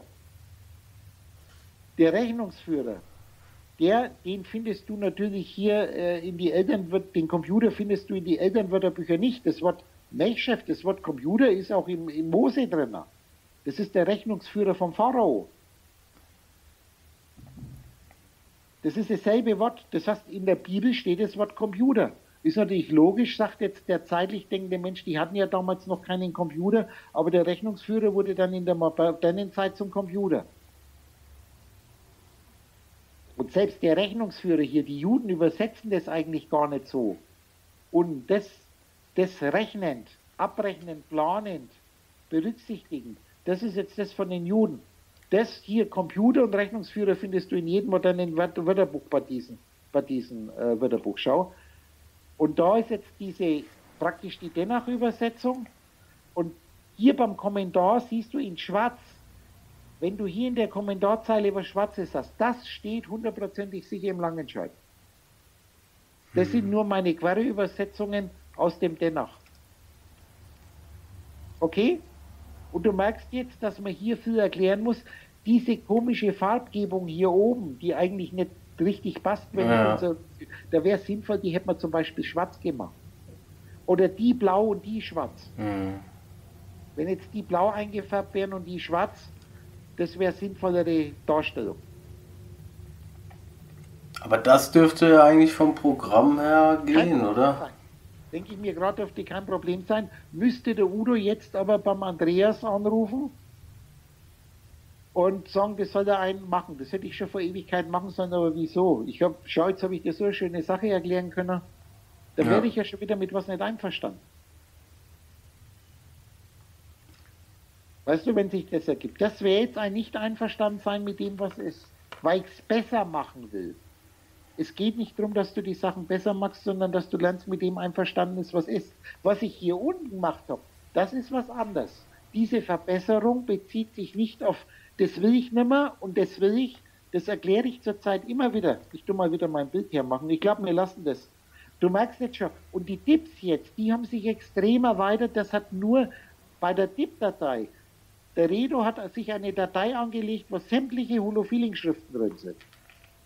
Und immer wenn er jetzt, er hat sich dann die Mühe gemacht, jeden Suchbegriff, den Suchbegriff abzusuchen, die ganzen Holo-Feeling-Schriften, wo diese Radix vorkommt, wo ich die irgendwo erkläre und hat dann diese Erklärungen hier, wenn sie sinnvoll so. war, hier in den DIP mit reingeprogrammiert. Der Redo arbeitet seit Jahren von morgens bis abends an, an, an, diesen Dateien. Er macht nicht das Programm, er macht nur die Dateien und gibt ihnen Andreas weiter und der, dann kommen immer wieder Updates. Krasser Scheiß. Ja, die arbeiten, ich sag ja, bei dir ist es selbe in Grün. Du wirst irgendwann einmal auch sagen, ich arbeite nicht für Gott, äh, ich, ich glaube nicht an Gott, ich arbeite für ihn. Ja, aber glücklicherweise auf die, auf die nicht technische Art hoffe ich doch. Alles ist gut. Das ist, äh, Amaretto ist Amaretto. Ja, eben. Du also das ist auch das da. Ist ein Buch in einem Bücherregal und da ist auch solche Sachen, dass das JCH, der steht vor dem Bücherregal. Wenn der das Bücherregal sieht, zieht er Bücher und jedes Buch ist ein Chat. Und in dem Moment, wo du als JCH ein Buch in die Hand nimmst, okay, und schaust dieses Buch an, das ist auch ein Chat, siehst du die anderen Bücher nochmal. Aber jetzt wird es interessant, in dem Moment, wo du das Buch aufschlägst und irgendeine Seite an, wie alt bist du jetzt als Amaretto? Boah, gute Frage. 35 vielleicht. Okay, jetzt pass auf, in dem Moment, wo du das Buch aufschlägst, die Seite 35 aufschlägst, dann siehst du nur die Seite 35. Ja. Aber der Witz ist, das ist ja auch noch ein Chat. Und dann tust du, wenn wir jetzt die Zahlen als Monate meinetwegen nehmen, wir müssen jetzt, das ist natürlich feiner gestuft, aber du weißt, was ich meine. Mhm. Du schaust jetzt den heutigen Tag an, dann siehst du jetzt gerade in dem Moment dieses Skype-Gespräch. Aber dann siehst du schon nicht mehr das Buch oder die Seite. Das heißt, in dem Moment, wo du Bilder machen musst, musst du dich in diese Struktur hinein fokussieren. Du konzentrierst dich und darum ist die höchste Form von Konzentration, ist Materie. Darum kann Materie immer nur hier und jetzt existieren. Erinnere dich an mein Beispiel mit Wirklichkeit und Wahrheit. Alles, was du denkst, wir haben zwei Möglichkeiten. Du kannst was feinstofflich denken, das kannst du um dich herum in Raum und Zeit verstreuen. Du kannst dir auch jetzt was denken, was feinstofflich ist. Zum Beispiel, wenn du jetzt an deine Augen denkst. In dem Moment, wo du mit den Augen zwingerst, werden sie sinnlich wahrgenommen. Ich könnte sagen, dann werden sie schon materialisiert. Du siehst sie zwar nicht, aber du spürst sie sinnlich wahrgenommen. Mhm. Und jetzt ist es so, sinnlich wahrgenommene Information ist hochkonzentrierte Information und hochkonzentrierte Information kann immer nur hier und jetzt sein. Das ist ich, mein Beispiel ist, wo ich schon seit 20 Jahren erkläre, es ist unmöglich, dass du hier morgen Abend oder heute Abend in dein Bett gehst. Ja. Du kannst es jetzt denken, aber weil du dir diesen Vorgang, den du dir jetzt denkst, räumlich und zeitlich woanders hin denkst, ist es nur feinstofflich. Wenn du das materialisiert erleben willst, dann musst du sagen, hier ist mein Wohnzimmer, vor mir auf meiner VR-Brille ist das Bett und du musst in dem Moment an deinen Körper denken, den du spürst und es geht immer nur jetzt. Das heißt, ganz wichtige Erkenntnis, eine sinnlich wahrgenommene Information, ob jetzt das hier ein Glas ist, ein Tisch ist, das sind die Sachen optisch auf der VR-Brille, ob du das ein Geräusche sinnlich wahrgenommen hörst, du hörst Vogelzwitscher oder ein Rasenmäher oder was auch immer und du hast den Eindruck, das kommt von außen, weil es von den Ohren kommt. Die Ohren sind im Prinzip das akustische Spiegelbild von der Fahrerbrille in meiner Metapher. Das heißt, du musst ein Signal in der Cochlea im Ohr haben, dann hörst du das und hast den Eindruck, es kommt von außen, wenn es auf der VR, denk an die BR, V ist gleich B, das Äußere, was optisch auf der VR-Brille ist, meinst du, das ist da außen, was in deinem Ohr ist, als Geräusch, in der Cochlea meinst du, das ist da außen, kommt von außen, oder natürlich auch ich gehe bei sinnliche Wahrnehmung auch Gefühle, dass du Hunger hast, in deinem Magen ist mit dem Magen verbunden. All diese sinnlichen Wahrnehmungen können immer nur jetzt sein. Hm. Es hat in der Vergangenheit keine, Metapher, keine Materie gegeben. Materie, wie du Materie nennst, diese sinnlich wahrgenommene Materie, das Gefühl von Gewicht, kann nur jetzt unmittelbar hier und jetzt sein. Okay? feinstofflich kannst du dir natürlich auch den Eiffelturm nach Paris denken, ja. aber weil du woanders hin denkst, ist er nur feinstofflich. Das heißt, alles, was du dir räumlich oder zeitlich woanders denkst, das denkst du natürlich auch hier und jetzt. Ja. Aber weil du dir das woanders hindenkst, kann das in dir nur feinstofflich in Erscheinung treten. Wenn du was materialisieren willst, ist es auch hier und jetzt, aber dann muss es optisch auf der VR-Brille in Erscheinung treten oder akustisch in der Cochlea im Ohr. In diesen ausgedachten Ohren, in diesen ausgedachten Augen. Wobei die Augen ja hast ja Becken.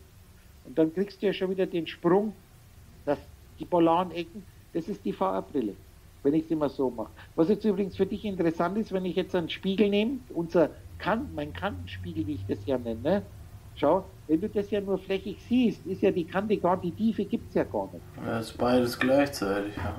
Das ist immer wieder, aber diese zwei, den Unterschied, den wir hier machen, auf dem Bild selber, den Unterschied, das ist jetzt zwei, mir dein, das sind zwei Hälften, mein Buch, wenn ich immer, die zwei Seiten, wenn du ein Buch hast, siehst du das Buch und du hast einen Hintergrund. Wenn wir das Buch jetzt aufklappen, muss ich mal das Buch nehmen, fällt mir gerade, das Buch siehst du jetzt und du siehst einen Hintergrund. Der könnte zwei sein, das spielt überhaupt keine Rolle. In dem Moment, du brauchst einen Unterschied. In dem Moment, wo ich das Buch aufklappe, und ich mache jetzt das einmal so groß, siehst du die zwei Seiten? Äh. Dann hast du rechte Seite, linke Seite. Wenn du jetzt aber lesen willst, musst du wieder bloß eine nehmen. Verstehst du? Dann hast du jetzt plötzlich viele Zahlen. Und dann, das ist, du brauchst immer einen Unterschied. Und der Stereoeffekt, das sind eben die zwei weitere, die Luchot, das ist übrigens auch so extreme Fehlübersetzung. Das ist diese zwei Gesetzestafeln. Keiner begreift, was ich damit ausdrücken will. Da steht im, im hebräischen Original steht da bloß El Chet Daf. diese zwei Gesetzestafeln. Ich sage, das ist komplett verkehrt übersetzt, aber da will ich, da müssen wir jetzt so weit ausholen. Kleiner, das ist, das ist sekundär. Mach das, was du zurzeit magst und du magst es gut und weißt du, wieso du das gut magst? Nicht, weil ich den Amaretto lobe, sondern weil ich dir das einfallen lasse. Benutze dich doch bloß. Mhm. Und es geht aber nicht um den Bröseln, denen du es erklärst. Mir ist wichtig, dass du dich selber beobachtest. Und dass man irgendwann einmal merkt, dass das Bessermachen ist immer so eine Sache das, das klassische Verbessern in den ganzen Religionen ist, ich muss das Böse, den Saddam bekämpfen, dass ich das Gute kriege. Ich mag es so, ich habe das nicht begriffen. Du wirst nicht den Berg des Bewusstseins besteigen, wenn du sagst, wir müssen erst einmal das Loch wegmachen und dann komme ich auf den Berg. Weil wenn du das Loch wegmachst, ist der Berg auch weg. Du wirst nicht heil, indem du die Krankheit bekämpfst. Ja habe ich so oft erklärt, Gesundheit ist nicht Heiligkeit. Der Heilungsprozess passiert in dem Moment, wo die Krankheit sich auflöst. Das ist die Verwechseln des Wort gesund mit heil. Und heil kannst du nicht werden, das bist du schon. Das bist du immer, selbst wenn du es vergisst. Aber du kommst halt dann in dieses ewige Spiel der Lebendigkeit, wo nichts verkehrt läuft. Und ja, das also ist eigentlich das, was man wirklich sich immer wieder bewusst machen muss, ich kann nicht den Zustand erreichen, der ich schon bin, ich kann mich bloß wieder erinnern. Mhm. Das heißt, du gehst erst in die Vergessenheit, das ist wie so dieses Baby, das Baby, das mir und symbolisch als ich denken, ist ja eigentlich nur ein Ding, da ist noch kein Wissen, kein Schwamminhalt drin. Dann saugst du dich voll, auf der Höhepunkt deines Wissens wirst du merken, oh, wie viel Scheiß habe ich eigentlich in mir drin. Ja. Dann quetschst du dich wieder aus und dann kannst du dich wieder neu vollsaugen. Und das Problem ist, wenn einer sein Wissen nicht austauschen will. Auch das Wissen, das ich dir jetzt gibt, ist nur vorläufig. Ich habe so ein bisschen das Gefühl, dass ich so, ja, dass da das so ein bisschen einschläft, habe ich immer das Gefühl. Dass aufpassen. Das, es wäre, wenn du nicht in der Zeit leben würdest, äh, wäre das nicht. Aber das ist eben Zeit. Das ist wie Ein- und Ausatmen. Das ist wie Hunger und Satt. Du hast eine Phase, wo du gefressen und gefressen hast und jetzt bist ja. du, du wirst feststellen, du wirst wieder hungrig werden. Ach so. Pass auf, ich mache mal den Redo. Der Redo ist Monate nur in, in Dennach. Er sagt, jetzt ist irgendwann einmal, das ist eh jedes Wort, das stimmt eh immer. Der hat Tausende und zigtausende von Wörtern hat er jetzt eingegeben und sich genauer angeschaut. Hat es dann in seinem Programm, die Wörter, wo stehen die irgendwo in den Ohrenbarungen, ganz für sich allein in seinen stillen Kämmerchen. Ein Arbeitstier ohne Ende. Du musst wissen, der Redo, ich habe das schon mal erzählt, der war ja bei der Bahn in der Schweiz. Diese Figur jetzt in seinem Leben. Und äh, der hat da elektronische Anlagen gemacht. War beamtet in der Schweiz und dann mit Holofeeling, ich sage, lass es laufen. Dann hat er die Diana kennengelernt, das ist eine Geschichte für sich selber, hochinteressant, was ich da gematcht habe. Auf eine göttliche Weise, wo die zwei mitgekriegt haben. Und äh, dann kommt irgendwann einmal der Punkt, so wie bei mir im Geschäft, ich sage nicht, mach's, lass es laufen, du merkst, wenn es soweit ist. Und dann sagt er, das bin ich nicht mehr. Und dann hat er gekündigt. Dann haben natürlich seine Eltern sich aufgeführt, weil wie geistlos muss einer sein, der in der Schweiz beamtet ist und dann kündigt und ja, seinen Beamtenstatus verliert. Schon krass, Aber das ja. ist nicht gewesen, weil er was wollte, sondern sagt, das bin ich nicht mehr. Jetzt muss man noch dazu sagen, der Redo sagt, ich bin jeden Morgen gern auf die Arbeit gegangen, ich hatte nur einen einzigen Chef und das war ganz nebenbei noch mein bester Freund damals. Wir hatten ein super Arbeitsklima. Mich hat die Arbeit überhaupt nicht angekotzt. Aber irgendwann einmal sagte, das ist für mich, ich, ich habe nur gefiebert, dass ich abends wieder am Computer kann und kann solche Sachen machen. Ich würde es den ganzen Tag lieber machen. Ja. Ich bin das nicht mehr. Und da kommt ja der schöne Satz in, in meinem Sefer Maimonides, so alte hebräische Weisheitsschrift, wenn du von morgens bis abends die Torah studierst, wird dich der Tod nicht finden und es wird jeden Tag genügend zum Leben da sein. Und da hat er die Reifestufe gekriegt, dass er gekündigt hat, nicht weil er das ankotzt, sondern weil er sagt, nee, das bin ich mehr, das ist ein Lebensabschnitt. Und Zukunft habe ich ein bisschen was vom Udo verstanden, morgen um 10 Uhr gibt es kein Freibier. Höre ich das nur und erscheint mir das Beispiel logisch, dass morgen nichts existieren kann, dass alles, was ist, jetzt ist, aber ist es wirklich installiert? Und wenn sich das jetzt an als Kaufmannsdenken beweisen will in deiner Situation, dann fällst du auf die Schnauze. Ja, ja. Das ist, da muss man wirklich ein ganz, darum sage ich, lass das mal, mach das als Amaretto in deinem Leben, als Jan, was das Leben dir vorschreibt. Und das Leben fordert immer wieder Entscheidungen von dir, wie der Tochter und so weiter und so fort. Und da ist Verantwortung da innerhalb dieses Programms die natürlich diese Verantwortung ist lächerlich mit einem anderen Programm. Ja. Entweder wichtig oder sogar schädlich mit einem anderen Programm, aber in dir läuft halt jetzt das Programm. Also tue dem Programm Genüge und wenn du Entscheidungen treffen musst, das quält dich geistig, rotes Ich natürlich, weil du läufst ja noch mit dem blauen Programm Amaretto. Mhm. Und ich sage immer wieder, wo ist dein Problem? Du hast doch nichts zu tun. Du, derjenige, der sich den Amaretto ausdenkt. Das Problem hat der Amaretto, der wiederum kein Problem hat weil er nur ein Gedanke von dir ist. Jetzt sagst du, ja, aber den Amaretto, seine Probleme sind ja meine Probleme. Ich sage, selbst der Amaretto ist was Vorgelegtes, nicht nur den Amaretto seine Probleme. Ja. Okay? Das ganze Paket, Und was du jetzt tust, als, als der Geist, der träumende Geist oder der Leser, der das Leben vom Amaretto ist, du liest einfach weiter und schaust, in welcher Situation, wo der wo der Amaretto hin und her trampelt, wenn, was mache ich, wenn ich das jetzt mache, könnte das passieren, wenn ich das mache, könnte das passieren. Du schaust, wie hin und her trampelt, aber du musst ja weiterlesen. Du kannst ja nicht immer nur die Zeile wiederholen, was mache ich jetzt. Du liest weiter und schaust, was der Amaretto in dem Leben macht. Und du siehst, was er sich damit einhandelt. Lernen du doch nicht diese Figur Amaretto, sondern der Leser. Mhm. Also, merkst du, die Probleme hat nicht der Leser, die Probleme der Hauptrolle in dem Buch, die er wahrnimmt als Leser. Und dieser Amaretto selber, der hat keine Probleme, weil er nichts wahrnehmen kann. Du ja. nimmst es wahr durch die Augen des Amaretto, durch das Gefühlsinterpretationssystem vom Amaretto. Genau genommen vom Jan. Und das, das, wenn sich installiert, was du feststellen, wird vieles leichter. Und du hast noch, wie ich zu meinem anderen Jan gesagt habe, und das hat ein, verstehst er schraubt das Buch der Buchstaben, seinen Schöpfungsschlüssel und er weiß, da ist kein Wort drin, was ich nicht, übrigens selbst nicht einmal, ich rede nicht einmal als Inspirator, der war ja oft über, über Jahre, fast jedes Wochenende bei mir da. Äh, was ich nicht im Beispiel, der hat eigene Worte, hat er super gemacht, das ist inspiriert gewesen. Das war heftig, ja. Ein komplett eigener Stil, aber die Grundprinzipien, die er mit seinen Worten, die ihm eingefallen sind, beschrieben hat, die hat er alle vom Udo gelernt. Die waren alles super, das ist auch ein Werkzeug, so wie ich jetzt den Redo benutze. Du kannst dich fragen, was mache ich mit dir? Musst rauskriegen, liest dein Buch weiter. Ja, so ein bisschen Ahnung kriege ich ja schon langsam. Und du weißt, und was in Jan gefuchst hat, das war, dass ich immer gesagt habe, Jan, bevor du nicht mindestens 40, mindestens 40 bist, besser noch 50 und selbst mit 50 ist es happy. Das ist jetzt so mein BC-Stadium. Das ist jetzt in der 50.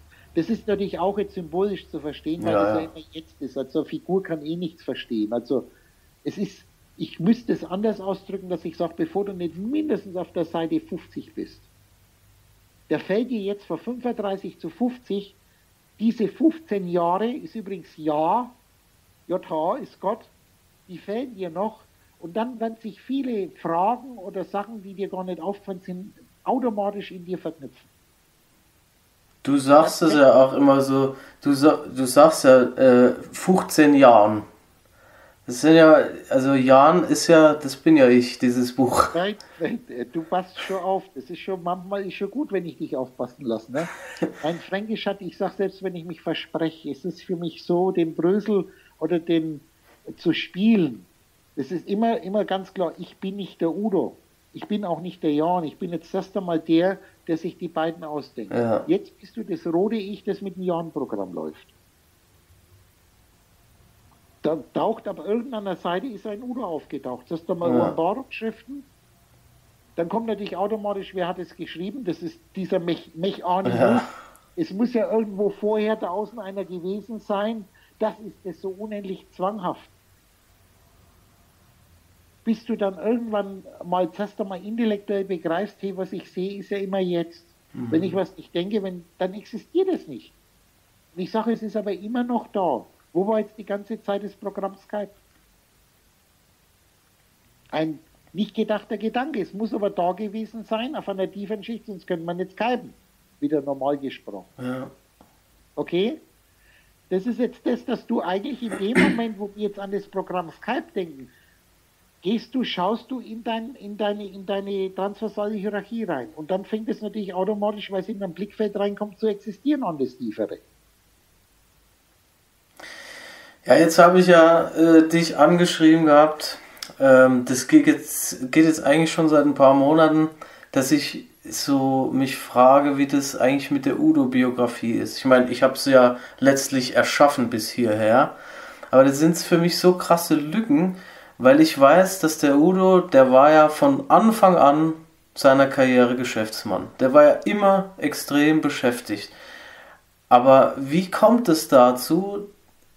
Äh, also ich verstehe das nicht mit der Hans-Geschichte, weißt du, weil da kommt mir das vor, wie wenn. Also pass auf, ich muss Kompromisse. Ich habe das mehrere Male erwähnt. Jetzt, da kommen jetzt Sachen, dass man, wenn wir jetzt schauen, wir denken uns jetzt ein Udo-Leben aus. Das ist ja. eine Geschichte, wie eine Hans-Geschichte.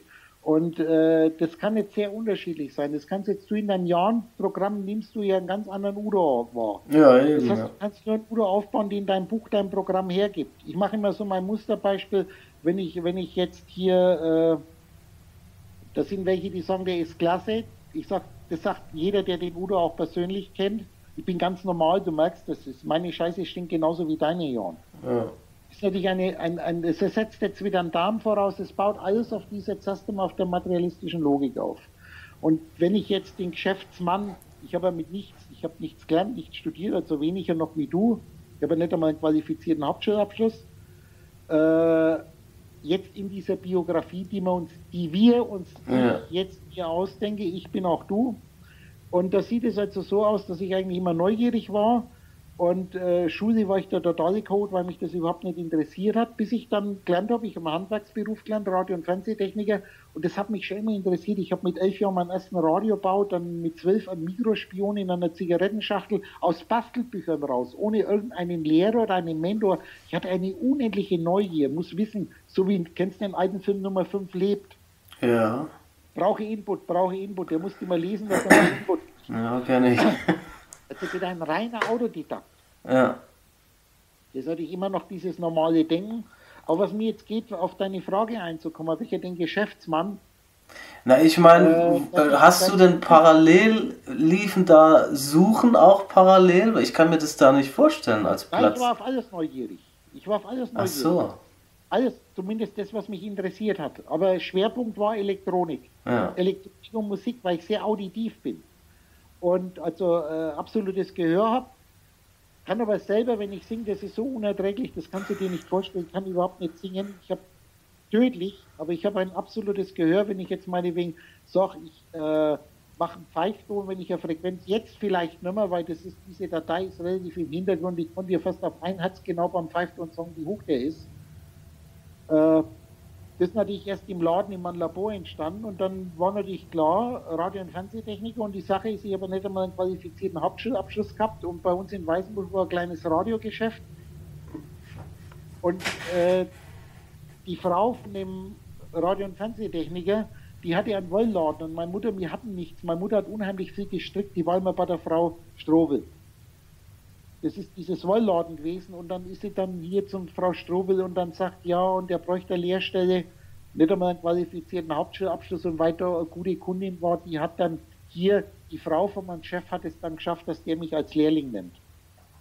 Was für ihn ein absoluter Klicksgriff war, weil sobald ich da angefangen habe, war ich in der Welt, die mich immer interessiert hat. Mhm. Und äh, auch die Berufsschule. Es war das erste Mal, dass ich gerne in die Schule gegangen bin. Mich hat die Berufsschule Spaß gemacht, weil das nur Themen waren, die mich interessiert haben.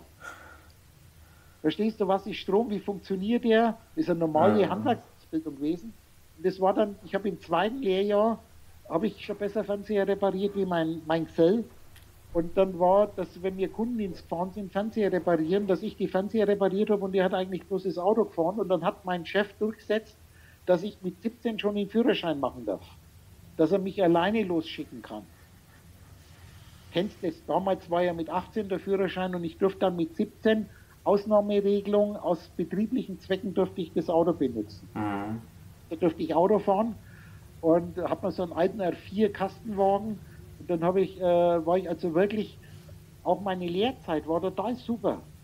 Da habe ich gekriegt, der hat mich dann unterstützt, weil er hat ja Schweinegeld gemacht. Ich habe 150 Mark im ersten Lehrjahr, 160 Mark im zweiten Lehrjahr verdient und er hat mich voll als, als, als Techniker abgerechnet.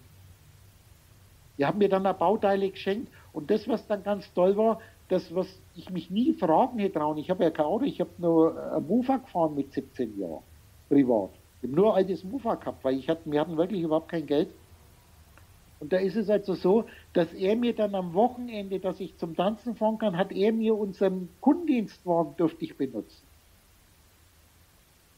Wo man, also ich habe eine super Lehrzeit dann gehabt und dann war die Frage nach der Lehrzeit Bundeswehr. Ich musste ja zur Bundeswehr mhm. und dann habe ich mich gleich, die hätte mich natürlich sofort übernommen, aber ich sage, ich muss dann eh, dann ist die Bundeswehr eh angestanden und dann habe ich geschaut, auch vorzeitig sehr früh, dass ich zur Bundeswehr komme, habe ich mich verpflichtet, vier Jahre aber unter der Bedingung, ich wollte nach Andernach. Andernach war damals sowas wie äh, psychologische Kriegsführung. In Andernach ist ein Soldatensender gewesen. Ja. Bundeswehr hat wie die Amis ein, zur psychologischen Kriegsführung eine reine Sendeanstalt. Und jetzt muss ich natürlich ah. erst meine, ich habe dann die vier Jahre gemacht, da musste ich Grundausbildung, das ist in Bruchsal gewesen. Äh, da hatte ich zuerst Standardgrund, das ist natürlich der militärische Teil und da wurde ich dann als Funker, das Elektronik im Heer ist halt ganz normal die Grundausbildung für Funkgeräte, Wartung und Funken.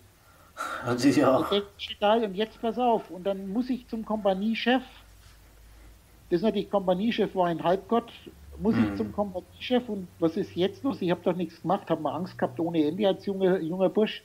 Und dann sagt der Bachelor, die Prüfungen, wo Sie jetzt haben, Sie sind, ich war immer Lehrgangsbester, weil das war, ich habe das ja vorher durch meinen Radio- und Fernsehtechniker, habe mich dieses äh, Geräte sauber machen und an denen hinschrauben, habe mich gelangweilt. Äh, sagt er, ich habe da ein Angebot für Sie. Sie haben sich zwar nur unter der Bedingung verpflichtet, dass Sie nach Andernach zu den Funkern, also zu dieser Rundfunkanstalt kommen. Äh, ich kann Ihnen was anbieten. Wir haben hier äh, Heeresfachschulen. Es gibt also hier die Schule äh, für Elektronik in Stamberg-Felderfing. Das ist also diese Heeresfachschule, wo die ganzen Elektroniker ausgebildet werden für Reparatur, für Funkinstandsetzung, das sind Abteilungen, spezielle Reparaturgeräte und die kriegen nur die Besten. Und die wollen nur die Besten. Und ich könnte Ihnen vorschlagen, dass Sie auf diese Schule kommen. Auch, ich weiß, ich kann das nicht, weil Ihre Einstellungsverpflichtung bei meinen vier Jahren war, dass ich nach Andernach komme. Und äh, darum muss er mich jetzt fragen. So, ja, ist auch nicht schlecht, ist nicht so weit weg von mir zu Hause. Dann bin ich an die Heeresfachschule für Elektrotechnik und Elektronik in Feldernfeld gekommen. Als Stammpersonal. Das ist ein Riesenunterschied. Das sind alle aus ganz Süddeutschland müssen dahin, wenn die irgendwelche Lehrgänge machen, ob die die Geräte reparieren oder die Funker. Das sind zwei Abteilungen. Und ich war da als Stammpersonal vorgesehen. Dann musste ich natürlich da unheimlich Lehrgänge durchlaufen. Und da habe ich dann, äh, hat es ja noch Fax gegeben, Tele, äh, Verschlüsselungsgeräte und Übertragungstechnik habe ich dann alle Lehrgänge bis Mathehaltungsstufe 4 gemacht. Du, du musst ja jetzt nicht erklären, das ist das Höchste, du darfst also selbst Bauteile rauslösen. In den Kasernen machen die maximal bis Mathehaltungsstufe 2. Das heißt, da werden halt Module getauscht und das war's dann. Mhm. Da hatte ich dann Mathehaltungsstufe 4 und was das Schöne war, diese, ich muss zwar Uniform tragen, aber du musst keine Waffe schieben, gar nichts. Das ist ihr Beruf, du gehst rein, da gibt es ja kein Anreden, das gibt's, das ja, ist ja. wie ein Job an der Universität. Und dann ist natürlich die Liebe, dann wollte ich heimatsnah. Mhm. War ich damals verliebt, habe ich eine Freundin gehabt und äh, ich war halt in Feldafing stationiert und musste dann immer nach Weißenburg am Wochenende fahren. Aber war das schon Marion? Das, das war noch nicht die Marion. Also. Das war, ich war ja einmal verheiratet schon mit 19. Ach so. Da war mit 16 kennengelernt. Dann war ich verliebt und dann die Trennung ist mir dann schon auf den Nerv gegangen, wobei das eine Traumzeit war. Ich kann mir diese, diese Fachschule des Heeres für Elektrotechnik, Elektronik war so cool. Mhm. Auf jeden Fall, dann wollte ich Heimat da heimatnah heißt, da hat es nur eine Möglichkeit gegeben, Heidenheim ist ungefähr 20 Kilometer weg, aber das ist ein Panzerbataillon. Dann bin ich da in meiner Freizeit hochgefahren zum S1-Offizier. Das ist der, der die Personalverwaltung macht. Und normal ist es in der Bundeswehr so, also damals, ich rede von den 70er Jahren, gell? Das war die 70er Jahre, äh, ist es also so, dass äh, die immer versucht haben, wenn die welche einstellen, dass wenn du angenommen, du bist der Koch, dann wird natürlich geschaut, dass du in die Küche kommst. Ja. Muss nicht unbedingt sein, aber in der Regel, ein Koch wird in der Küche als Küchensoldat äh, eingestellt oder eingesetzt. Und wenn du jetzt hier meinetwegen aus der Gegend von Hamburg bist, dann wirst du irgendwo in der Nähe in einer Hamburger Kaserne kommen und wenn du aus der Münchner Gegend bist, in der Münchner Kaserne kommen und manchmal haut es halt nicht hin und wenn jetzt du zum Beispiel, angenommen, du wärst jetzt in Hamburg und du bist in München in der Kaserne und hast du eine Kochdienstplanstelle, auch in deiner normalen Wehrdienstzeit und du weißt, du kennst zufällig einen, der in Hamburg stationiert ist als Koch, aber aus der Münchner Gegend ist, könnt ihr tauschen. Das heißt, wenn man zum S1-Offizier geht und, und das schildert, dann sagt er kein Problem. Denen ist nämlich nur wichtig, dass seine Planstellen besetzt sind. Ja. Wenn der einen Koch hat und der kommt jetzt zu Ihnen und sagt, Hans, ich bin aus München und sitze hier in Hamburg, ich wüsste in einen, der wird gerne zu Ihnen kommen und das ist dieselbe Qualifikation, dann können die tauschen, dann macht er das, da hat er keine Arbeiter mit. Und so bin ich hochgefahren, wie das aussieht, ob ich da irgendeinen Job kriegen könnte. Und der S1-Offizier sagt zu mir, jetzt pass auf, das ist ganz interessant, der sagt zu mir, passen Sie auf, Herr Betscher, wir haben hier nur einen FMD-Trupp. Das ist ein Panzerbataillon und der FMD-Trupp, der Chef, das ist der Stabsunteroffizier-Dienststelle, der ist praktisch die Autorität für die funktechnische Instandsetzung von den Panzern, dass die alle laufen und die ist noch belegt, diese Stelle. Das heißt, wenn Sie zu mir kommen, ich kann Sie dann als Hauptgefreiter einstellen, aber ich kann keine Ersatzgestellung machen. Ich nehme sie, wenn Sie wollen, Sie können, ich kann das reinschieben, aber Ersatzgestellung heißt, ich kann der Schule keinen qualifizierten Fachmann geben, um ihre Stelle da unten auszutauschen. Mhm. Den habe ich nicht.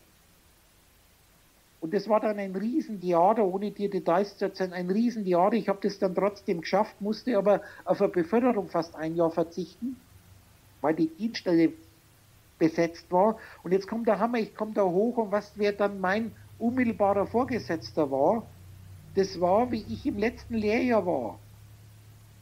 Ein Lehrling von mir. Also auch ein Lehrling bei der Firma, aber das eigentlich, ich war ja, wurde ja wie ein Gesell gehandelt bei mir im Betrieb.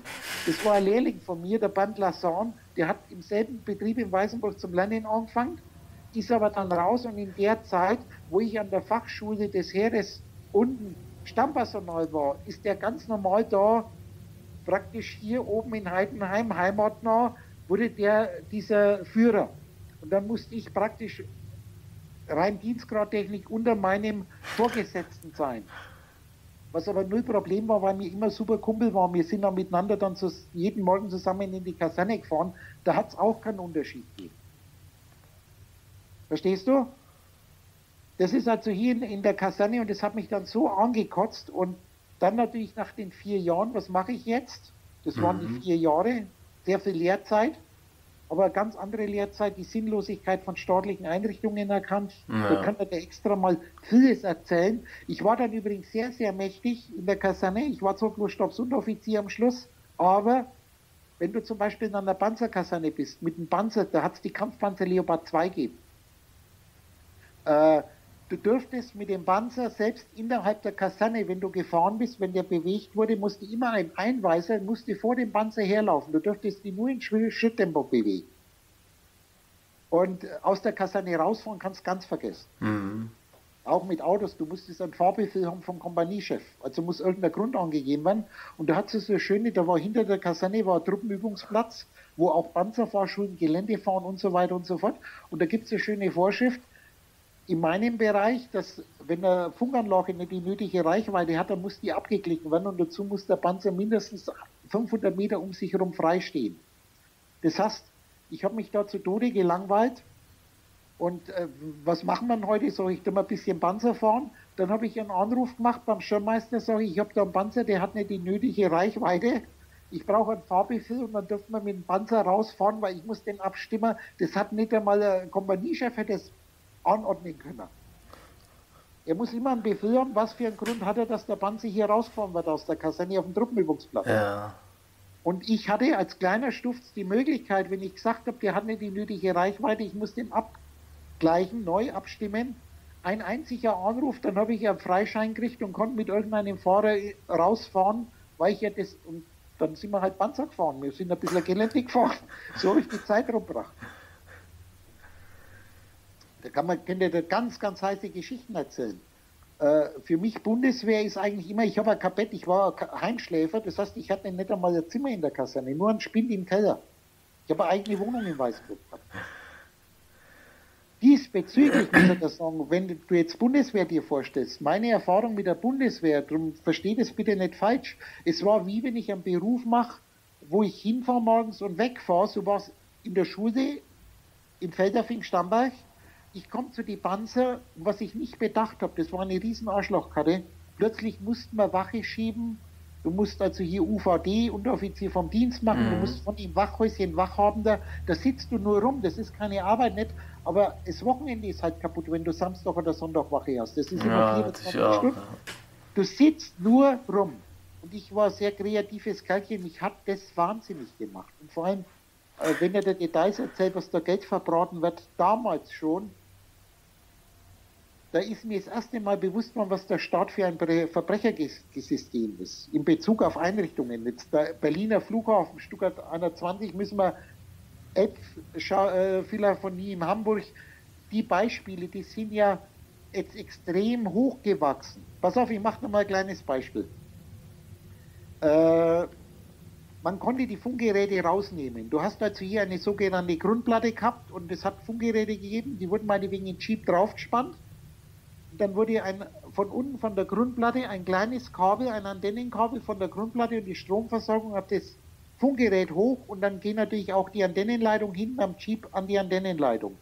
Und du konntest das Funkgerät reicht als tragbares, das SEM 35 hat es geheißen, das ist die Grundhalterung, dann tust du die Leitungen weg, tust das raus, einen Batteriesatz dran auf dem Rücken als tragbares Funkgerät. Jetzt pass auf, da haben eine geblödelt und da ist, wenn das eingebaut ist, das Funkgerät, wird diese ein, der Antennenangang, wo du, wenn du es auf dem Rücken hast, wo man die Antenne drauf macht, das ist eine normale ja. BNC-Buchse, wie bei CB-Funkgerät ja. gewesen damals. Wo man die Antenne hier draufgesteckt hat, wurde einfach ein kleines Kabel von dieser Antennenbuchse runter zur Grundplatte, wo es dann zur Autoantenne gegangen ist, die natürlich wesentlich besser geht. Dieses BNC mit zwei BNC-Stecker konntest du bei Konrad Elektronik hier für 8 Euro kaufen, das Kabel, mit die zwei Stecker dran. Da haben eine rumgespielt und dann ist so ein Kabel kaputt gegangen. Hat es natürlich einen riesen Aufstand gegeben.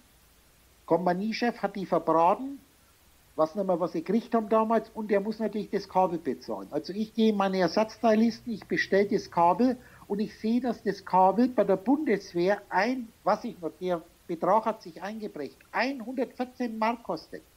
Ja. Für einen Wehrdienstleistenden, das ist ein ganz stinknormales 30 cm mit zwei BNC-Stöcke, wo bei Konrad Elektronik du als Endverbraucher für 8 Euro kaufen kannst. Mark, Entschuldigung, 8 Mark, damals war nur Mark. Okay?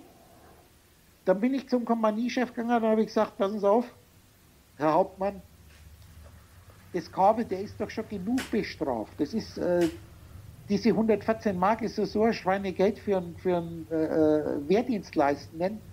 Äh, ob er damit einverstanden ist, ich besorge das Kabel aus privater Quelle und lasse mir von dem die 8 Mark geben. Der ja so, ist ja eh schon genug bestraft. Da sagt, ja, wenn Sie das machen, Herr Betscher, ist das in Ordnung. Und das ist jetzt nur ein kleines Beispiel. Die Funkgeräte selber, die Kosten, waren im selben Maß so überteuert im Vergleich ja, ja. gleichwertiger Ware im Privaten, dass ich gemerkt habe, wie hier irgendwelche, sobald es staatlich ist, der hat sich übrigens wie ein roter Faden durchgezogen. Genau. Ich mich dann selbst mache mal, alles, was Staat in Auftrag gibt, ist damals schon so extrem teurer gewesen, wie wenn du als Privatmann oder als Firma was in Auftrag gibst, privat, dass da schon irgendwie Schmiergeld oder was auch immer dahinter stecken müssen. Und ja, äh, ist schon krass. ich könnte dir dann Sachen machen, was da Geld verbrauchen wird. Ich habe selber für Millionen Ersatzteile weggeschmissen, bloß wegen einer Vorschrift. Und meine Beschäftigung die letzten Jahre war eigentlich nur Zeittotschlag. Ich kann dir sagen, subjektive Zeitempfindung, die vier Jahre Bundeswehr und jetzt sukzessive die letzten ein Jahr oder anderthalb Jahre Heidenheim ist mir deutlich länger vorgekommen. Ich habe natürlich dann wie Wehrdienstleistender dann äh, äh, Maßband gehabt. Das heißt, ein Wochenmaßband, wo man jede Woche so, so Maßband abzwickt. Ich weiß nicht, ob es das noch gibt. Die W15er, die hatten dann immer ein Meter Maßband, wo du dann die letzten Tage jeden Tag dort hängen am Tag abzwickst, dass du wieder rauskommst. Und das hat sich in die Länge gezogen ohne Ende. Und diese letzten zwei Jahre, sage ich jetzt mal bei der Bundeswehr, die sind mir länger vorkommen wie die siebten Jahre, wo ich meinen Laden hatte. Das ist wie im Flug vergangen. Und wenn ich jetzt sage, dass ich ja schon fast 25, 22, 23 Jahre aus dem Laden draußen bin, nur Holofeeling mache, das ist, das ist gar nichts mehr. Die Zeit löst sich komplett auf. Das ist jetzt ein Gespräch von Brüssel-Uder zu Brüssel. Ja. ja. Aber bei der kurz Aber ich wollte den Geschäftsmann nochmal sagen. Pass auf, ja. jetzt mit der blöden Bundeswehr bin ich wieder abglitten. Äh, es ist also so, dass ich dann hier, dann war, wie ich aus der Bundeswehr rauskomme, was mache ich? Und dann habe mich natürlich zuerst einmal Stereolang interessiert und dann hatte ich über, auch über einen alten Bekannten von mir, der in der Hi-Fi-Branche war, habe ich dann einen Job gekriegt im Stereo Wunderland. Das war der größte Hi-Fi-Händler in Nürnberg als Verkäufer. Mhm. Da habe ich nur drei Monate, war ich nur ein Vierteljahr angestellt, weil ich äh, einfach ein super Verkäufer bin. Kann aber nur Sachen verkaufen, wo ich dahinter stehe. Natürlich ein ganz junger Bursch, habe immer Hi-Fi Stereo, das war das A und O. Und äh, das ist jetzt das Interessante, dass ich dann in Nürnberg gesagt habe, wenn ich mich jetzt in Weißenburg selbstständig mache, wenn ich im Monat in Weißenburg so viel verkaufe, wie was ich hier an einem guten Samstag nur ich als Verkäufer verkauft habe, dann reicht mir das. Hm. Dann habe ich überlegt, mich selbstständig zu machen und dann habe ich nur eigenartige Konzepte gemacht und dann habe ich in einer Hinterhoffirma eine kleine, kleine Firma mit einem kleinen Tonstudio einbaut. Da habe ich gemeint, da ist eine Marktlücke mit. Und äh, das ist jetzt diese Phase der Entwicklungen. Das ist ganz langsam losgegangen, war ich ja nur relativ jung auch. Und das ist halt dann gewachsen. Und das ist jetzt die Geschichte, die dich interessiert hat. Da können wir noch mehr erzählen. Der Jan kann auch eine Riesengeschichte erzählen. Eine andere Geschichte. Jede, jedes Leben ist hochinteressant für einen, der das erkennt, dass jedes Leben was ganz was Spezielles ist. Ja. Es gibt keine bessere und schlechtere Leben. Vielleicht wirst du sogar lernen, dass das, was man vielleicht mit normaler Logik als die schlechteren Leben sieht, dass das genau die Leben sind, wo du am meisten lernst. Das sind die guten, als ja. Als Leser lernst du nicht in den schönen Wischiwaschi, die du da, da ist nichts los. Wo du massiv mit Energie konfrontiert wirst. Problem ja. ist in Energie, Stress ist Energie auf jeden Fall, was ich jetzt, und jetzt kommt die, die große Fehler, den Kompromiss, wo ich eingehen gebe, weil ich da immer sage, ich habe dann 96 meine Transformation gehabt. Das, ja. Ich mache das Wort nicht. Äh, das ist eine ganz heiße Geschichte innerhalb dieser Geschichte. Aber jetzt, was ich immer wieder gesagt habe, vorher war für mich Religion scheiß drauf. Ich habe mich zwar, weil ich viel in Asien ja war, mit meinen Eigenimporten, für Buddhismus interessiert, aber auch aus einer Modeerscheinung, aus einer Normalität heraus. Christentum ist mir voll am Arsch vorbeigegangen und die Kirche. Das ist ja so verlockend, ich bin Buddhist, ich sage dann immer, was für einer. Das ist ja auch Mode, Trend, das ist wie ja, wieder was ja. anziehst, stützt deine Religion über.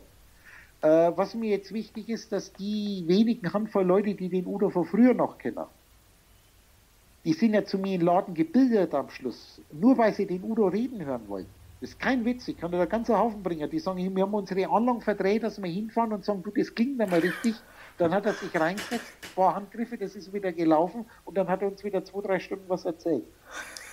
Ich habe, es war nicht anders, wie was ich jetzt mit Holofeeling mache, ja. sondern nur themenbezogen. Das sind so irre Beispiele, ein Großteil der Holofeeling-Beispiele, die habe ich alle schon in den 80er Jahren in Weißenburg im Mantonstudio erzählt. Aber wie, wie kam es denn dazu? Gegangen. Jetzt pass auf, und jetzt ist jetzt dieser Kompromiss, dass ich das ja schon gemacht habe, bevor ich transformiert war, ja. aber das ist jetzt, dass ich irgendwo da einen Fehler in Kauf nehmen muss. Ich wusste natürlich damals schon, wer ich bin.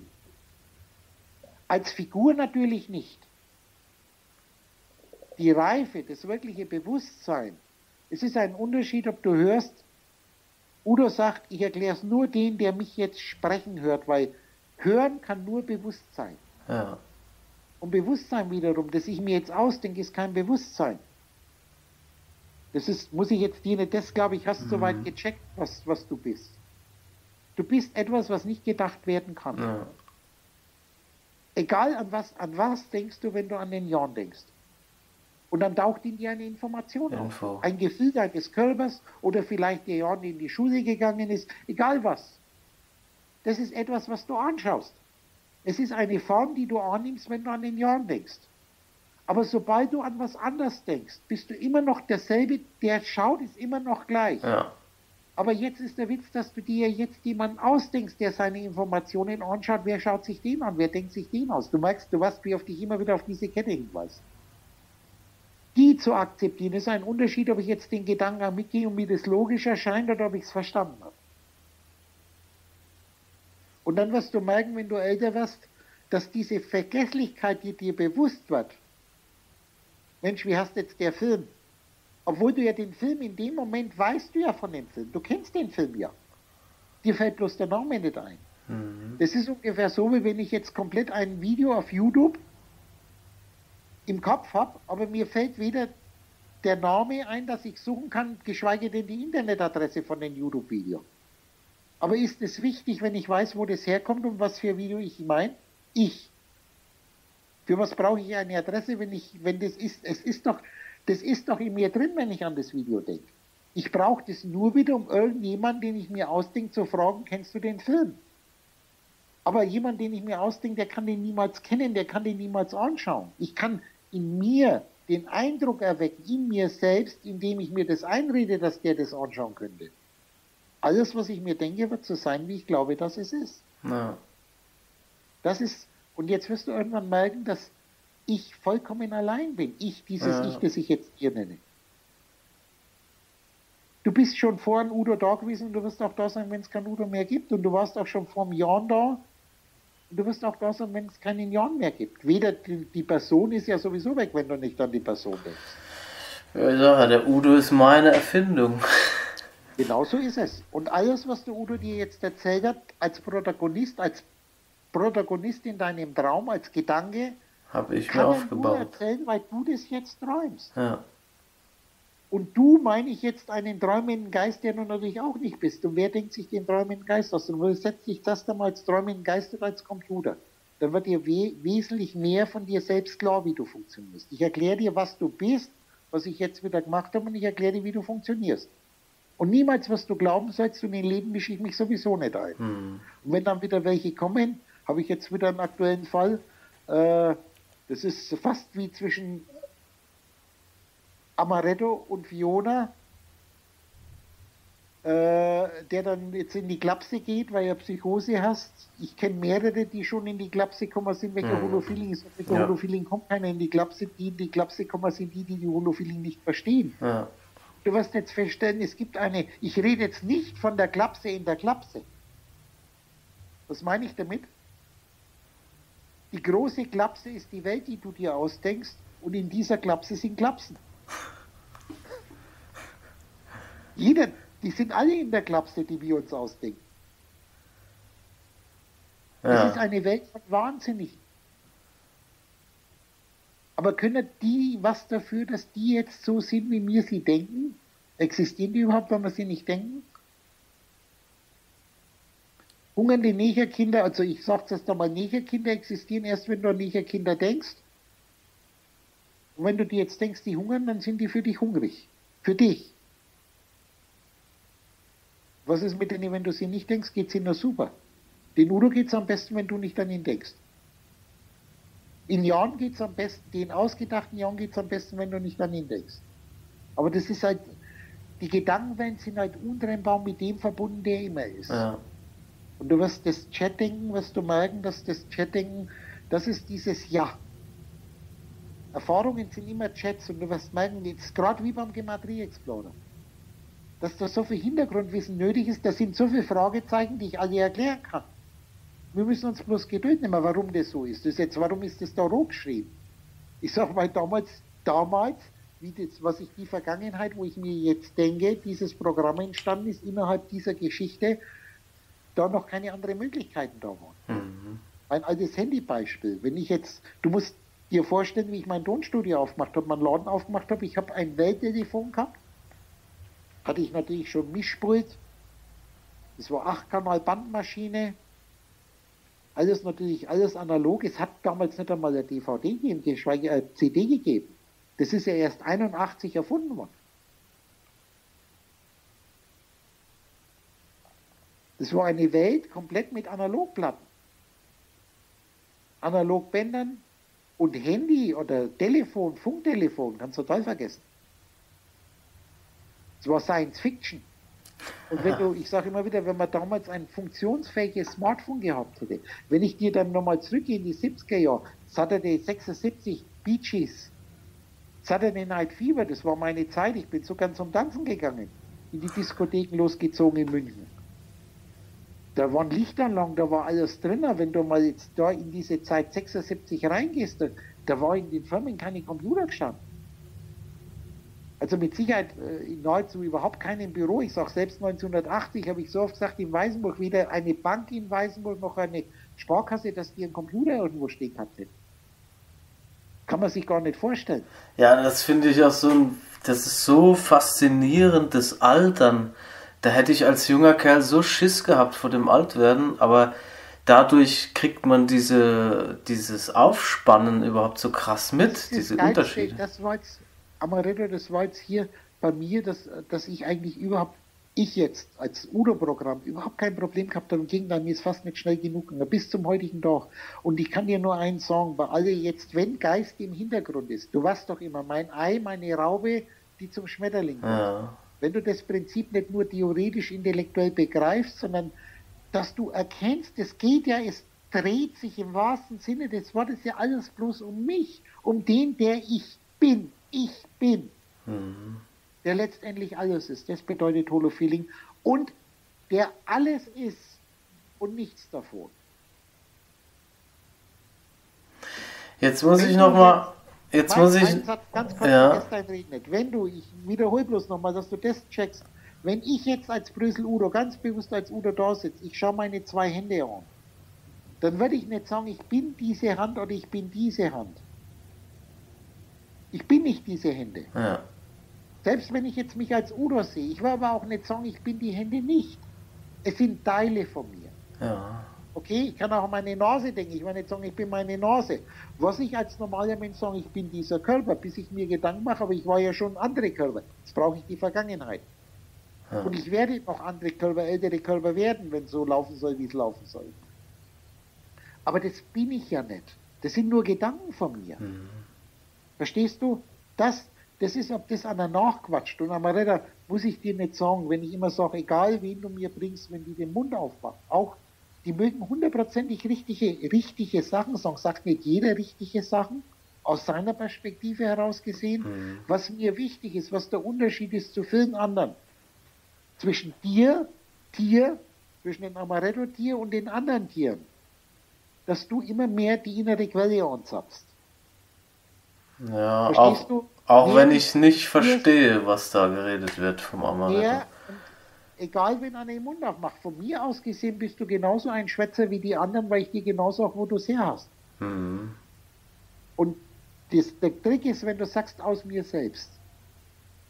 Alle Philosophen, alle Physiker, die erklären dir, was der entdeckt hat, was der gesagt hat. Die ganze moderne Philosophie ist ein einziges Rezitieren von irgendwelchen Scheißdreck was ist und immer wieder die Außenwelt. Warte mal, mir fällt da gerade spontan was auf.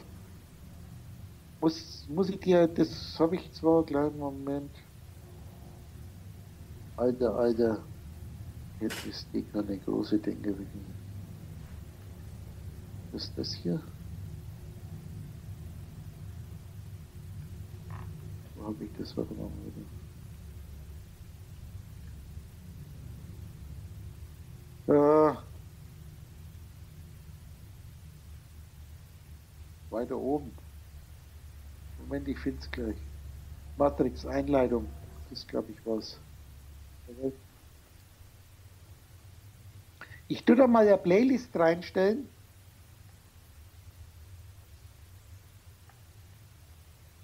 Muss jetzt nicht anklicken. Das ist dieser Professor Erkenntnistheorie. Und Amarero, pass auf, wenn du den jetzt hörst, das sind Vorträge über Wittgenstein, das ist übrigens nicht Steser Professor, Erkenntnistheorie, sind immer wieder dieselben Fehler. Bist du noch dran? Ja. Das sind immer wieder dieselben Fehler. Es ist die Außenwelt, selbst Idealisten, Philosophen, die sich Idealisten nennen, es ist immer die Frage über die Außenwelt. Da außen gibt es keine Welt. Es ist ein Traum. Mit dem Traum ist alles erklärt. Mhm. Und man kann nur schauen, wie hartnäckig das ist bei denen und ein einziges Rezitieren von angelesenen Wissen. Das sind sogenannte gebildete Menschen. Aber ein gebildeter Mensch ist nicht der Schöpfer dieser gebildeten Menschen. Die sind im Geist Beilet, der Geist und im Kind. Und das sind Facetten von dir. Egal wer in dir auftaucht, wenn du dir Videos anschaust, es ist eine Figur, die du vor dich hinstellst in deinem Traum, die aus dir kommt. Und die spiegeln jetzt letztendlich dich selber, weil du ja auch bloß rezitierst. Ja, genau. Und sage ich immer wieder, die Ausnahme sind die Künstler. Wenn dir Melodie einfällt, wo ist die Melodie her? Das sagst du aus mir. Aber es ist diese alte Kette mit dem Kugelschreiber schreibt ein Gedicht. Da hast du ein Jein. Habe ich so oft erzählt. Das hast du bestimmt jetzt im Hinterkopf. Ja. Ich sage dann immer wieder, lass uns das doch mal klären, wie definierst du Schreiben? Ist Schreiben, dass einer ein Gedicht schreibt oder ist Schreiben Farbe aufs Papier bringen? Der Kugelschreiber bringt die Farbe aufs Papier. Aber er bestimmt nicht, wie er das anordnet. Er ist ein Sklave der Hand, hm. die ihn in der Hand hat, so wie ich dich in der Hand habe. Ich lasse dich halt nicht schreiben, sondern reden. Ja, Gott sei Dank. Die besten, die besten Erklärungen machst du, wenn du den Amaretto vollkommen vergisst und vollkommen einfach nur das fließen lässt, durch dich fließen lässt. Das stimmt, ja. Und dasselbe gilt jetzt, ob wir uns, ob ich, ob wir uns jetzt den Amaretto denken, ob wir uns den Udo denken. Die Figuren sind nicht wichtig. Wichtig ist die Quelle. Aber die Quelle wiederum, eigentlich müssten wir beim Brunnen anfangen. Das hebräische Wort für Brunnen ist ja fast das Wort für erschaffen. Ich muss nochmal ganz kurz. Oh, Amar, äh, Amaretto, wir müssen fast, ich muss dann weg. das wäre jetzt, du merkst, es ufert unendlich aus. Ja, kenne ich ja, ja. Das Bara. Es ist also definitiv so, dass das hebräische Wort für Brunnen, okay, schreibt sich Bar, B-A-R. Bara ist ja B-R-A. Okay? Berashit, Barashit, mhm. Bara, Elohim. B-R-A heißt Schöpfen aber da steht in den alten Wörterbüchern ein Schöpfen, nur von Gott. Das ist was anderes wie du machen, handeln. Und wenn wir jetzt die letzten zwei BRA, BAR machen, dann hast du das hebräische Wort für Brunnen, das heißt Brunnen, dies, ich nenne es einmal Bar, das ist jetzt unsere Bar, in einem gewissen Bar ist eine Bar ja eine Brunnen, ja. wenn ich in eine Bar gehe, wo ich, wo ich was zum Trinken kriege. Ja, das stimmt. Und dasselbe wieder. Wort hast du aber auch auslegen und erklären auslegen, nach außen legen. Mhm. Da kommt aus dem Brunnen kommt was heraus, unser Mem, unser Wasser, jetzt blau als Gestaltungen, die du nach außen legst und dir selbst erklären musst. Aber wo hat der Brunnen das Wasser her? Der Brunnen hat das Wasser von der Quelle. Aber wenn aus einer Quelle, das ist in einem gewissen Maß der Brunnen unterhalb des Brunnens in unserer Transversalen. Mhm. Und wo kommt das Wasser von der Quelle her? Und jetzt brauche ich Grundwasser. Jetzt geht dann, jetzt steigen wir nach oben. Das kommt vom Regenwasser, von den Wolken. Und wo kommen die Wolken her? Von dem Meer. Und wo fließt das Wasser wieder hin? Jetzt merkst du, jetzt hast du den Kreislauf. Ja. Und man macht ihm das Problem als normaler Mensch, dass man das immer auseinanderreißt mhm. und aus diesem Kreis, wo eins aufs andere reagiert, mein Heizkörperbeispiel, genau. über die Schleife, einen Anfang setzt und ein Ende setzt. Und das musst du durchbrechen, indem Anfang und Ende immer wieder zusammengehören. Das war im letzten Gespräch, wo ich sage, wenn du ein Kreis geworden bist, G-Reihe S geworden bist, erkennst du, wir sagen, das Leben beginnt mit einem Ei, ich spreche jetzt AI, mit einem Nichts und endet mit einem Kreis, G-Reihe S, mit einem geistigen Spiegelbewusstsein. Dass alles nur Spiegelungen von einem Spiegel sind, der man selbst ist. Da kommt das Wort Spiel her. Spiegel. Und jetzt ist es so, dass der Kreis erkennt, dass er schon immer ein Ei war. Dass wir das jetzt zusammen machen und dann hast Ei, dieses Nichts, ist ein geistiges Spiegelbewusstsein. Das ist das Zentrum, in dem der Tetraeder spiegelt. Jetzt, was wolltest du noch sagen, schnell? Äh, ja, dieser, diese, kurz bevor dieser Hans in das Haus kommt, wo das dann losgeht. Geile Geschichte, ne? Absolut. Das ist der Punkt, wo ich gerade dir vorweggenommen habe. Äh, da geht's ja, da, da wird ja sowas gesagt wie das Alter lag schon schwer auf ihm und sowas. Richtig. Also hast du als Udo, also in der Udo-Geschichte ist es gar nicht so gewesen wie jetzt beim Amaretto, dass der peu à peu von Theorie zu Theorie sich durchgehangelt hat und immer suchender geworden ist? Ist es ganz anders bei dir gewesen? Der Entscheidende für mich in der Hans-Geschichte, das Entscheidende ist dieses Heureka, dass du suchst nach der Wahrheit. Hm. Und es ist in dir noch dieses Einseitige. Ich sage, du musst in einen Zustand kommen, die Frage, ob was richtig oder verkehrt ist, die Definition, das ist schön, das ist hässlich, das ist gesund, ist ja immer das Anstreben von Einseitigkeit. Ja. Und genauso sucht man natürlich nach der Wahrheit, weil du jetzt in dem Falschen, in dem Fehler, im Führerscheinprüfungsbogenwahn lebst. Ich will ja nicht an was Falsches, an was Verkehrtes. Ich will ja nicht an was Falsches, an was Verkehrtes glauben. Ich will nur an das Richtige ja. glauben. Und dann ist das da mal, rastest du die ganzen Religionen durch. Ja. Mehr oder weniger hängt natürlich jetzt ab, ob du das in dem Leben zu lernen hast. Und du stellst fest, dass die sich so bekriegen, selbst im Christentum. Diese unendliche Scheinheiligkeit schon zwischen Protestanten und Katholiken. Du musst dir vorstellen, ich muss jetzt eine kleine Geschichte kurz erzählen hier. Äh, der Bischof, der damalige Bischof von Eichstätt, der hat einen Pfarrer, einen katholischen jungen Pfarrer, hat er entlassen, weil er ohne Rückfrage zu nehmen mit einem protestantischen Kollegen zusammen ein Abendmahl gehalten hat. Das hätte er sich genehmigen lassen müssen. Wie kann man mit einem Feind da ein Zusammentreffen machen, ohne dass das vorher mit, der, mit den Oberen abgesprochen wurde? Doch krank. Ja, schon krass. Das sind lauter, da müssen wir jetzt gar nicht, da will ich gar nicht drauf eingehen. Die Geschichten sind ja viele im Führerscheinprüfung. Auf jeden Fall, hier ist es richtig. Was, ich will ja an das Richtige glauben. Das heißt, wenn ich jetzt Christ bin, was ist jetzt die richtige christliche Religion? Die Katholiken, die Protestanten, die Zeugen Jehovas sind ja christlich. Du weißt, da gibt es hunderte von Huderer, Amish, und alle leben in den Wahn, dass ihre einseitige Vorstellung richtig ist. Obwohl dann die Religionen, wenn man mal selber reinliest, die elementaren Grundaussagen immer dieselben sind. Die ursprünglichsten Aussagen, bevor sie zerdacht wurden. Da soll ich mit Religion wirklich überhaupt nichts mehr zu tun haben. Mhm. Das ist, ich bin Buddhist, ich esse kein Fleisch. Da gehst du mal nach Thailand. Das sind alles Buddhisten. Die essen alles, was krabbelt und kriecht. Also Buddhismus hat nichts zu tun. Sich, die Buddhisten, die sagen, ich bin Buddhist, ich esse kein Fleisch, das ist ein totaler Blödsinn, das ist eine buddhistische Strömung. Wie, es religiöse Strömungen gibt.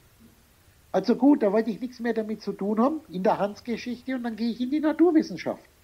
Und jetzt fange ich an zu studieren und dann kommst du natürlich irgendwann einmal zu der Quantenmechanik. Und in den Anfängen der Quantenmechanik, die sind genauso zerstritten gewesen, die Physiker mit ihren Theorien, wie die religiösen Menschen. Und dann kommt es Heureka, dass sie plötzlich in der Hansgeschichte die wichtigste Stelle, dann das große Heureka kommt, wieso will ich eigentlich bloß eins glauben, wenn ich alles glauben kann? Wenn alles richtig ist, aber alles auch verkehrt ist, solange ich bloß in richtig und verkehrt denke. Weil zu jeder Vorstellung von richtig gehört eine, zumindest eine Kehrseite. Ich sage, die zwei Extreme beim Kegel sind Kreis und Dreieck. Und wenn man Schatten macht, das sind die Sätze, wo ich tausende Male jetzt schon lange mehr gesagt habe. Ist jetzt ein Kegel eigentlich ein Kreis oder ein Dreieck? Und die meisten Menschen sagen sofort sowohl als auch. Und ich sage weder noch.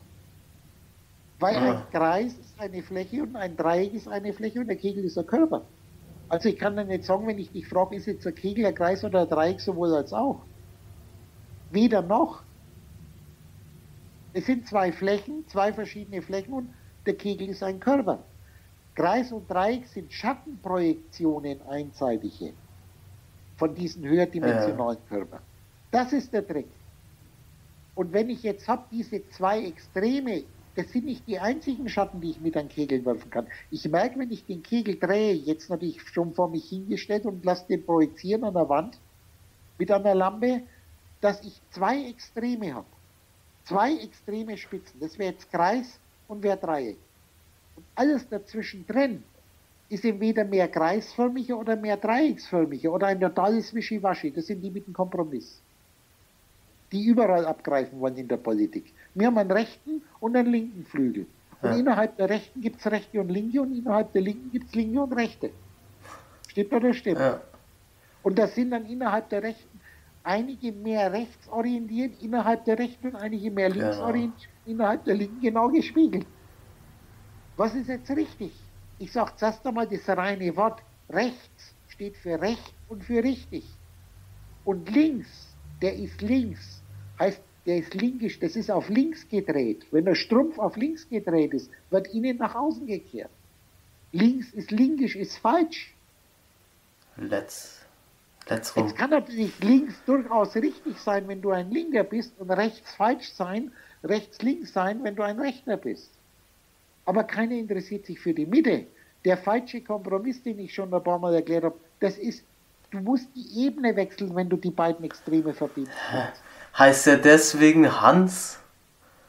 Der, der Name der in der Hans, Mitte? Nein, der Hans, der Hans heißt Hans, weil ich laut Bass, laut Bass, heiße ich Hans Udo Betscher. Ach so. Genau genommen Johannes. Hans ist die Kurzform von Johannes. Das ist Johannes der Teufel, ist der Halbbruder von Jesus. Das hast du mal mitgekriegt im Gespräch. Ich habe einen Pfarrer schon gehabt, wo ich sagte, Johannes der Teufel ist der Bruder von Jesus. Und er sagt, der spinnt es. Ich sagte, das steht in deiner Bibel im Neuen Testament, kannst nachlesen. Du bist doch Pfarrer. Wo steht im Neuen Testament, dass Johannes der Teufel der Bruder von Jesus ist? So, pass auf, ich erkläre dir die Geschichte.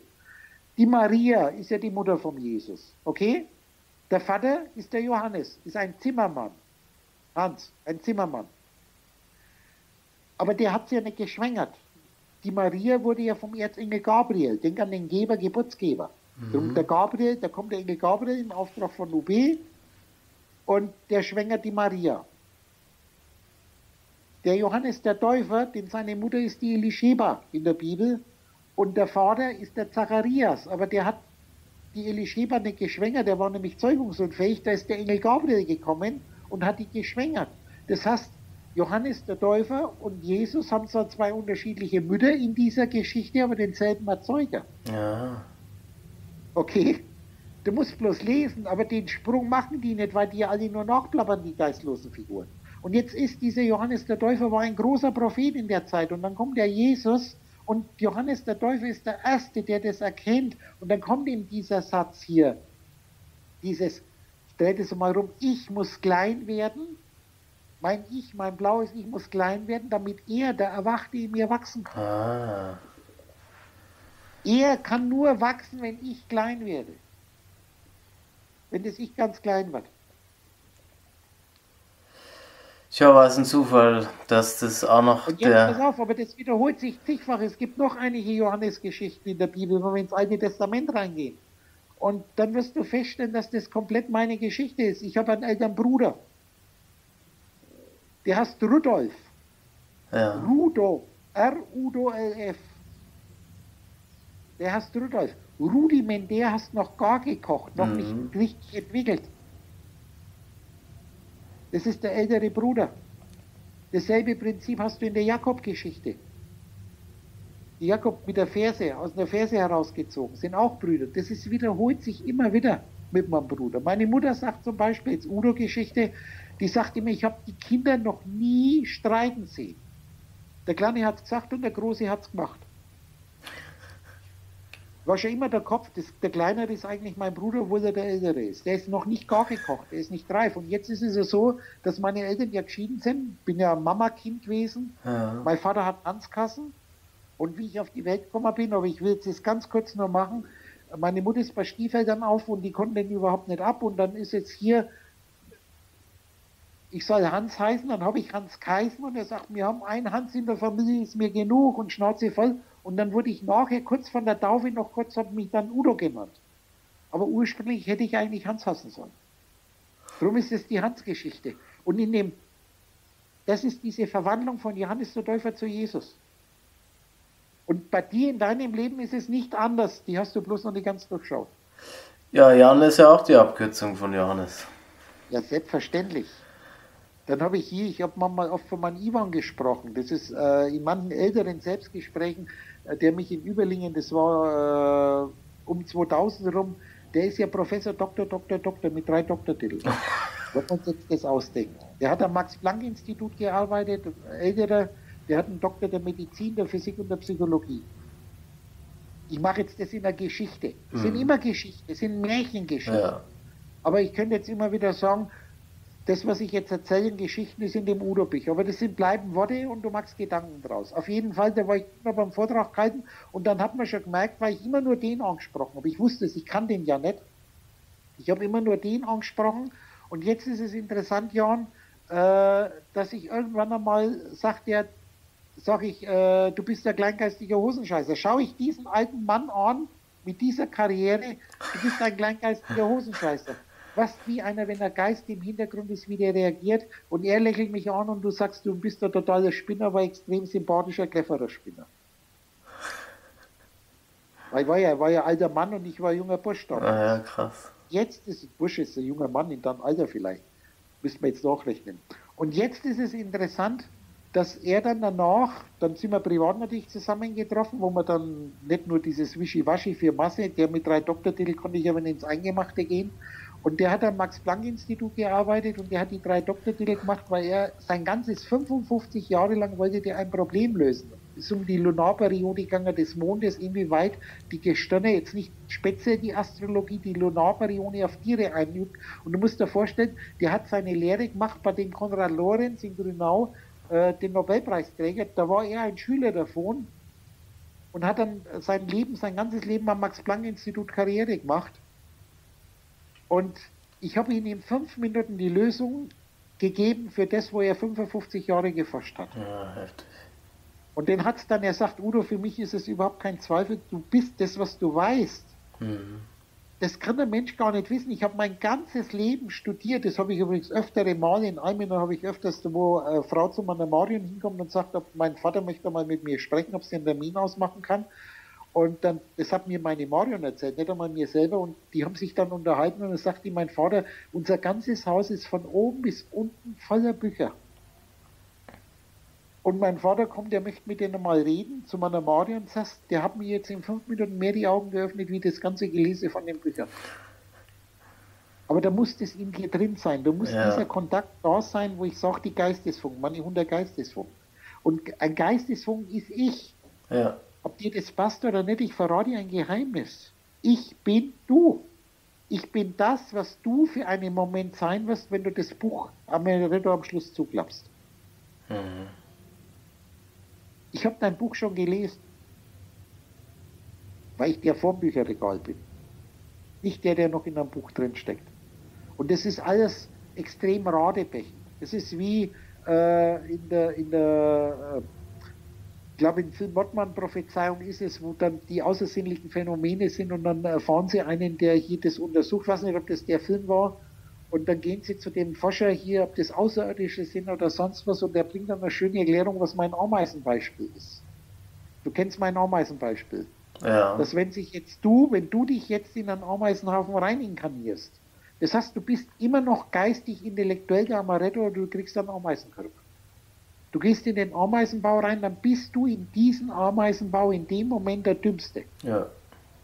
Weil dein ganzes Wissen dir nichts nützt, weil du dieses Wissen von dieser Welt nicht hast. Mhm. Es ist aber mit deinem Intellekt kein Problem, diese, diese primitiven Strukturen sofort zu analysieren. Aber wie weit, du kannst nur mit denen kommunizieren auf dieser Ebene. Was erzählst du den Ameisen jetzt, was du alles weißt? Wenn du nur, nur Ameisensprache sprechen kannst. Du kannst nichts erzählen. Du, das ist das, was du zurzeit macht in deinem Traum. Mhm. Was wir machen.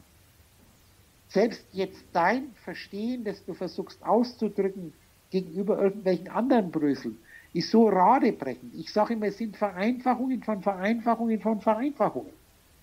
Genauer kann ich nur werden, wenn die Hintergrundwissen fällt. Aber jetzt kommt ein neues Problem, Amaretto. Pass auf.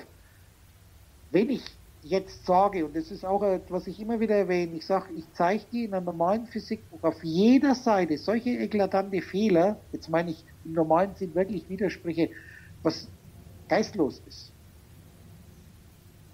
Und das kann ich jeden 16-jährigen intellektuellen Stand eines 13-jährigen sogar darauf hinweisen, wenn er den Gedankengang mitgeht, dass das so gar nicht sein kann. Das Teilchenwellenphänomen zum Beispiel, wo jeder schluckt. Die schlucken ja alles ja. mit dem. Ein Computer schluckt alles, was du einprogrammierst. Der wehrt sich nicht. Er wehrt sich erst, wenn er schon was drin hat und du willst was reinschlucken, das seiner Logik widerspricht. Dann wehrt er sich. Solange er noch nichts drin hat, nimmt er alles auf. Wenn ihr nicht wieder werdet wie die Kinder. Das ist das Beispiel. Sobald Wissen in dir drin ist, ab, ab 18, 19 gehen wir auf die Barrikaden. Schau dein eigenes Leben an. Aha. Und die Alten haben sowieso keine Ahnung. Die Alten sind sowieso blöd. Das wissen sogar 16-Jährige, die in die Disco wollen und rauchen wollen und die Eltern sagen, oder, oder du Arschgeweih wollen oder was auch immer und spießige Eltern sagen, du brauchst das nicht. Die haben doch keine Ahnung, was wichtig ist. Jetzt ist es umgekehrt, dass unser jetziges Wissen, der Wissensstand der Menschheit, die wir uns jetzt ausdenken, die wir der Menschheit zusprechen, ist das jüngste Wissen. Das modernste Wissen. Jung ist dumm. Und wir maßen uns wieder an, die Paracelsus und die Alten unserer Geschichte, die natürlich nur Gedanken sind mit Holofeeling, dass die keine Ahnung haben. Mein altes Paracelsus-Beispiel, wenn er sagt, ein Mensch entsteht nicht, indem der Mann seinen Liquid Vitae, seinen Samen in die Matrix der Frau spritzt, dieser Liquid Vitae, der reinigt die Nieren, so wie der Rotz das Gehirn reinigt. Mit menschlicher Fortpflanzung hat es nichts zu tun. Wenn dieser Paracelsus weiterhin sagt, dieses Siderische, die Sterne, dreht sich nicht um euch herum, es ist inwendig in euch. Als großer Astrologe. Das ist, da merkst du schon, die ganzen Astrologen jetzt, die in den materiellen Weltvorstellungen sind, die haben von den Worten dieses alten Meisters überhaupt nichts verstanden. Ja. Du wirst wieder Respekt kriegen von den Alten, die du dir selber ausdenkst. Ja. Die du selber bist, gewesen bist in einem anderen Bücherregal. Wo nur noch das Wissen tief in dir drin ist, als Weisheitpakete, als Chat, wie ich das sage, die du immer wieder reaktivieren kannst, was du magst, wenn du dich jetzt interessierst. Was, meinetwegen fällt dir ein, was hat eigentlich äh, dieser Platon in den äh, Gradulus-Dialog gesagt über die Sprache. Das ist so weit weg von einem Wittgenstein. Sollen wir wieder die Welt, Wittgenstein, Tractatus Logicus beginnt mit die Welt ist das, was der Fall ist. Jetzt ist Welt mit Holofeeling ist das Brand, der polare Rand, den du von Augenblick zu Augenblick opfern musst. Und was ist die Radix von Fall? Jetzt gehen wir wieder in DVDs und schauen uns erst einmal nach, was ist das ursprüngliche für Fall. Und du wirst jetzt nicht wundern, das ist das lateinische Wort Falle, das wird natürlich dort nicht erwähnt. Lass uns einfach weg. Was meinst du, was die, die, die Wurzel von dem Wort Fall ist? Faller, lateinisch, was heißt das? Betrug, Täuschung. Da kommt das Wort falsch her. Wittgenstein beginnt seine großen Untersuchungen im Traktatus Logius. Die Welt ist alles, was der Fall ist. Sag ich, recht hat er. Aber es versteht, ist eine andere Frage.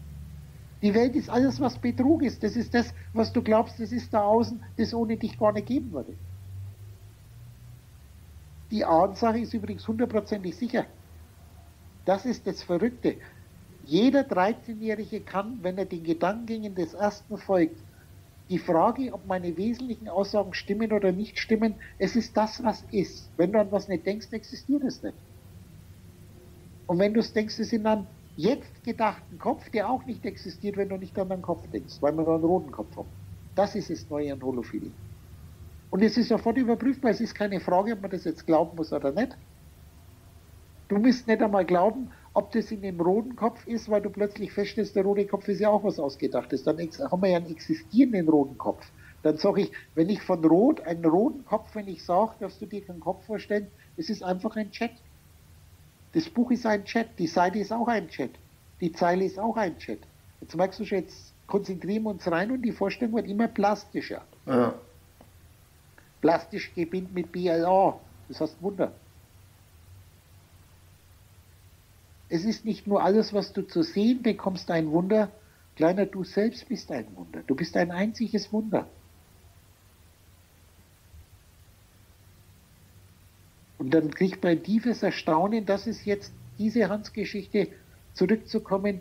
Das erste Heureka ist, verdammt, wenn du erkennst, wieso will ich bloß eins glauben und das andere nicht haben, verwerfen oder sogar bekämpfen, wenn ich doch alles glauben, wenn ich alles haben das ich eigentlich schon besitze. Eins bin. Was ist mehr? Absolut eins mit etwas zu sein oder was zu besitzen? Wenn, wenn ein Besitz auftaucht, müssen schon zwei da sein. Das, was besessen wird und der, der es mhm. besitzt. Aber sind es nicht zwei Facetten von dem, der sich jetzt das ausdenkt, diese Gedankenwelle? Ist es so schwer zu verstehen, wenn ich sage, ein Besitzer ist was anderes wie das, was besessen wird? Wie kann ich dann sagen, ich bin Geist? Ich bin Geist ist gut. Aber ist nicht dieser Geist, der ich jetzt bin, schon wieder was Ausgedachtes? Ich habe Bewusstsein, ich habe einen Körper. Sind es nicht Sachen, die ich besitze? Ich bin Körper. Wie klingt das? Ich bin Körper, ich bin Gehirn. Nein, ich bin Geist, ich bin Bewusstsein. Aber wie ist jetzt das, wenn dann wieder einer sagt, der hat ja so viel Geist, der hat ja so viel Bewusstsein? Musst Arte Mediathek läuft zurzeit der Film über Bewusstsein, der höchste Stand der Bewusstseinsforschung. Die ersten zwei, drei Minuten sind total super. Der geht los, dieser Professor steht am Strand, läuft durch den Sand, dann siehst du die Wellen, dann erklärt er wieder so klassisch wie immer, was so Bewusstsein und jetzt kommt und jetzt in dem Film wird die erklärt, der neueste Stand der wissenschaftlichen Bewusstseinsforschung, die haben jetzt fast rausbekommen, wie das das Gehirn schafft, Bewusstsein zu entwickeln. Äh, Geht es darum, kannst schon wieder ausschalten. heißt der irgendwas mit Intelligenz, die menschliche Intelligenz oder so? Du, ich weiß, ich habe ich hab's, äh, warte mal, einen kleinen Moment, ich habe es abgespeichert. ich glaube, als Vorschlag habe ich es gesehen. Nein, das ist, glaube ich, Bewusstsein, das ist Bewusstsein mit. Also. Moment, Moment, Moment. Ich habe nämlich, weil der läuft, ich habe nachgeschaut, weil ich mir gedacht habe, Mensch, den Anfang müsste man fast im Blindfeld-Vortrag laufen lassen, als Udo. Das Rätsel unseres Bewusstseins. Aber kein Problem, du kriegst es von mir jetzt sofort auf der Stelle. Und der, die im AD auf der Mediathek steht jetzt raumzeitlicher Schnickschnack, ist es nur bis 7.5. noch abgespeichert, aber die haben das auch äh, auf einem AD-Kanal auf YouTube.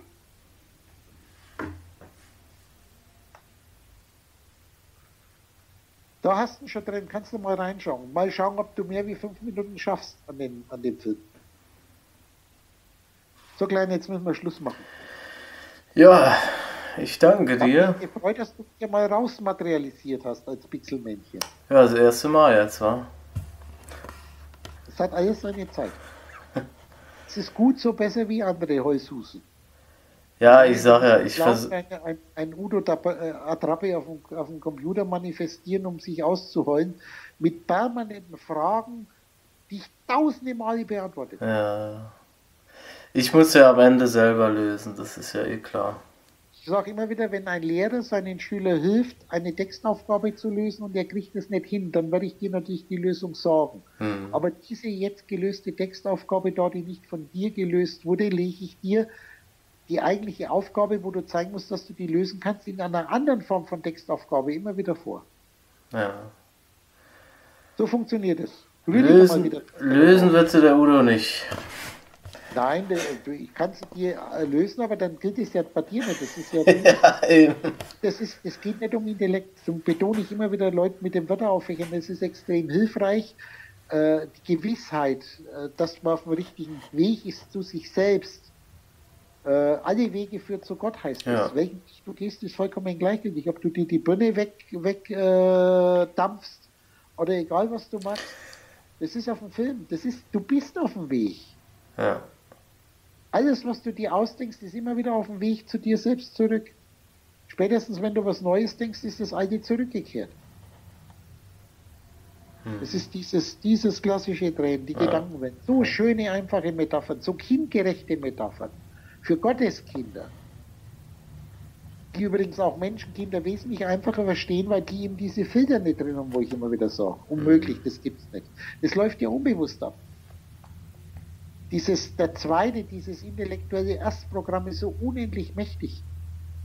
Und solange sich das Laufen dazwischen schiebt und du nicht richtig zuhören kannst, weil Laufen unbewusste Interpretationen im Hintergrund sind, das ist unmöglich, das gibt es ja nicht. Das Festhalten wollen an irgendwas Existierenden. Ja. Das sind übrigens die Samariter in der Bibel. Sama mit Shin vorne links punktieren, mit Sinn vorne geschrieben, also praktisch 340, 200, wenn du nachschaust.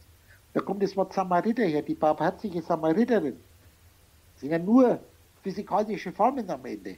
Das heißt, bewachen, bewahren, ich nenne mal lieber das Wort konservieren. Was ist, wenn du eine Konserve hast, eine Filmkonserve? Da scheint Leben drin zu sein, das aber vollkommen tot und steril ist.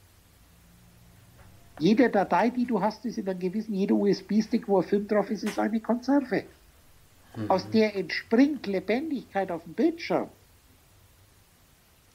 Aber diese Lebendigkeit kannst du nicht bewahren und bewachen, sondern bloß die Konserve.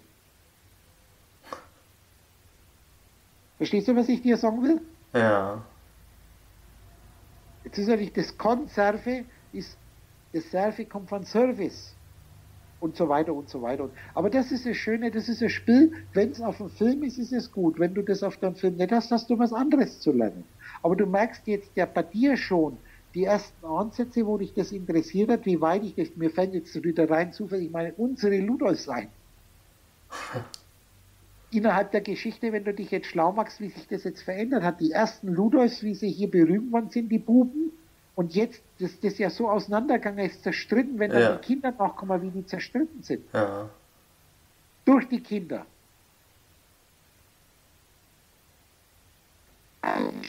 Oh, jetzt ist der Ton weg.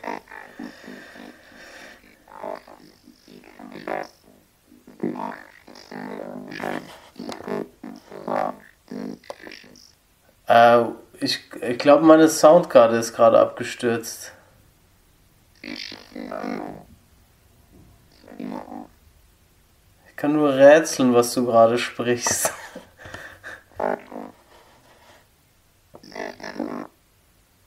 Nee, nee, das liegt an meiner Soundkarte. Uh, uh, uh.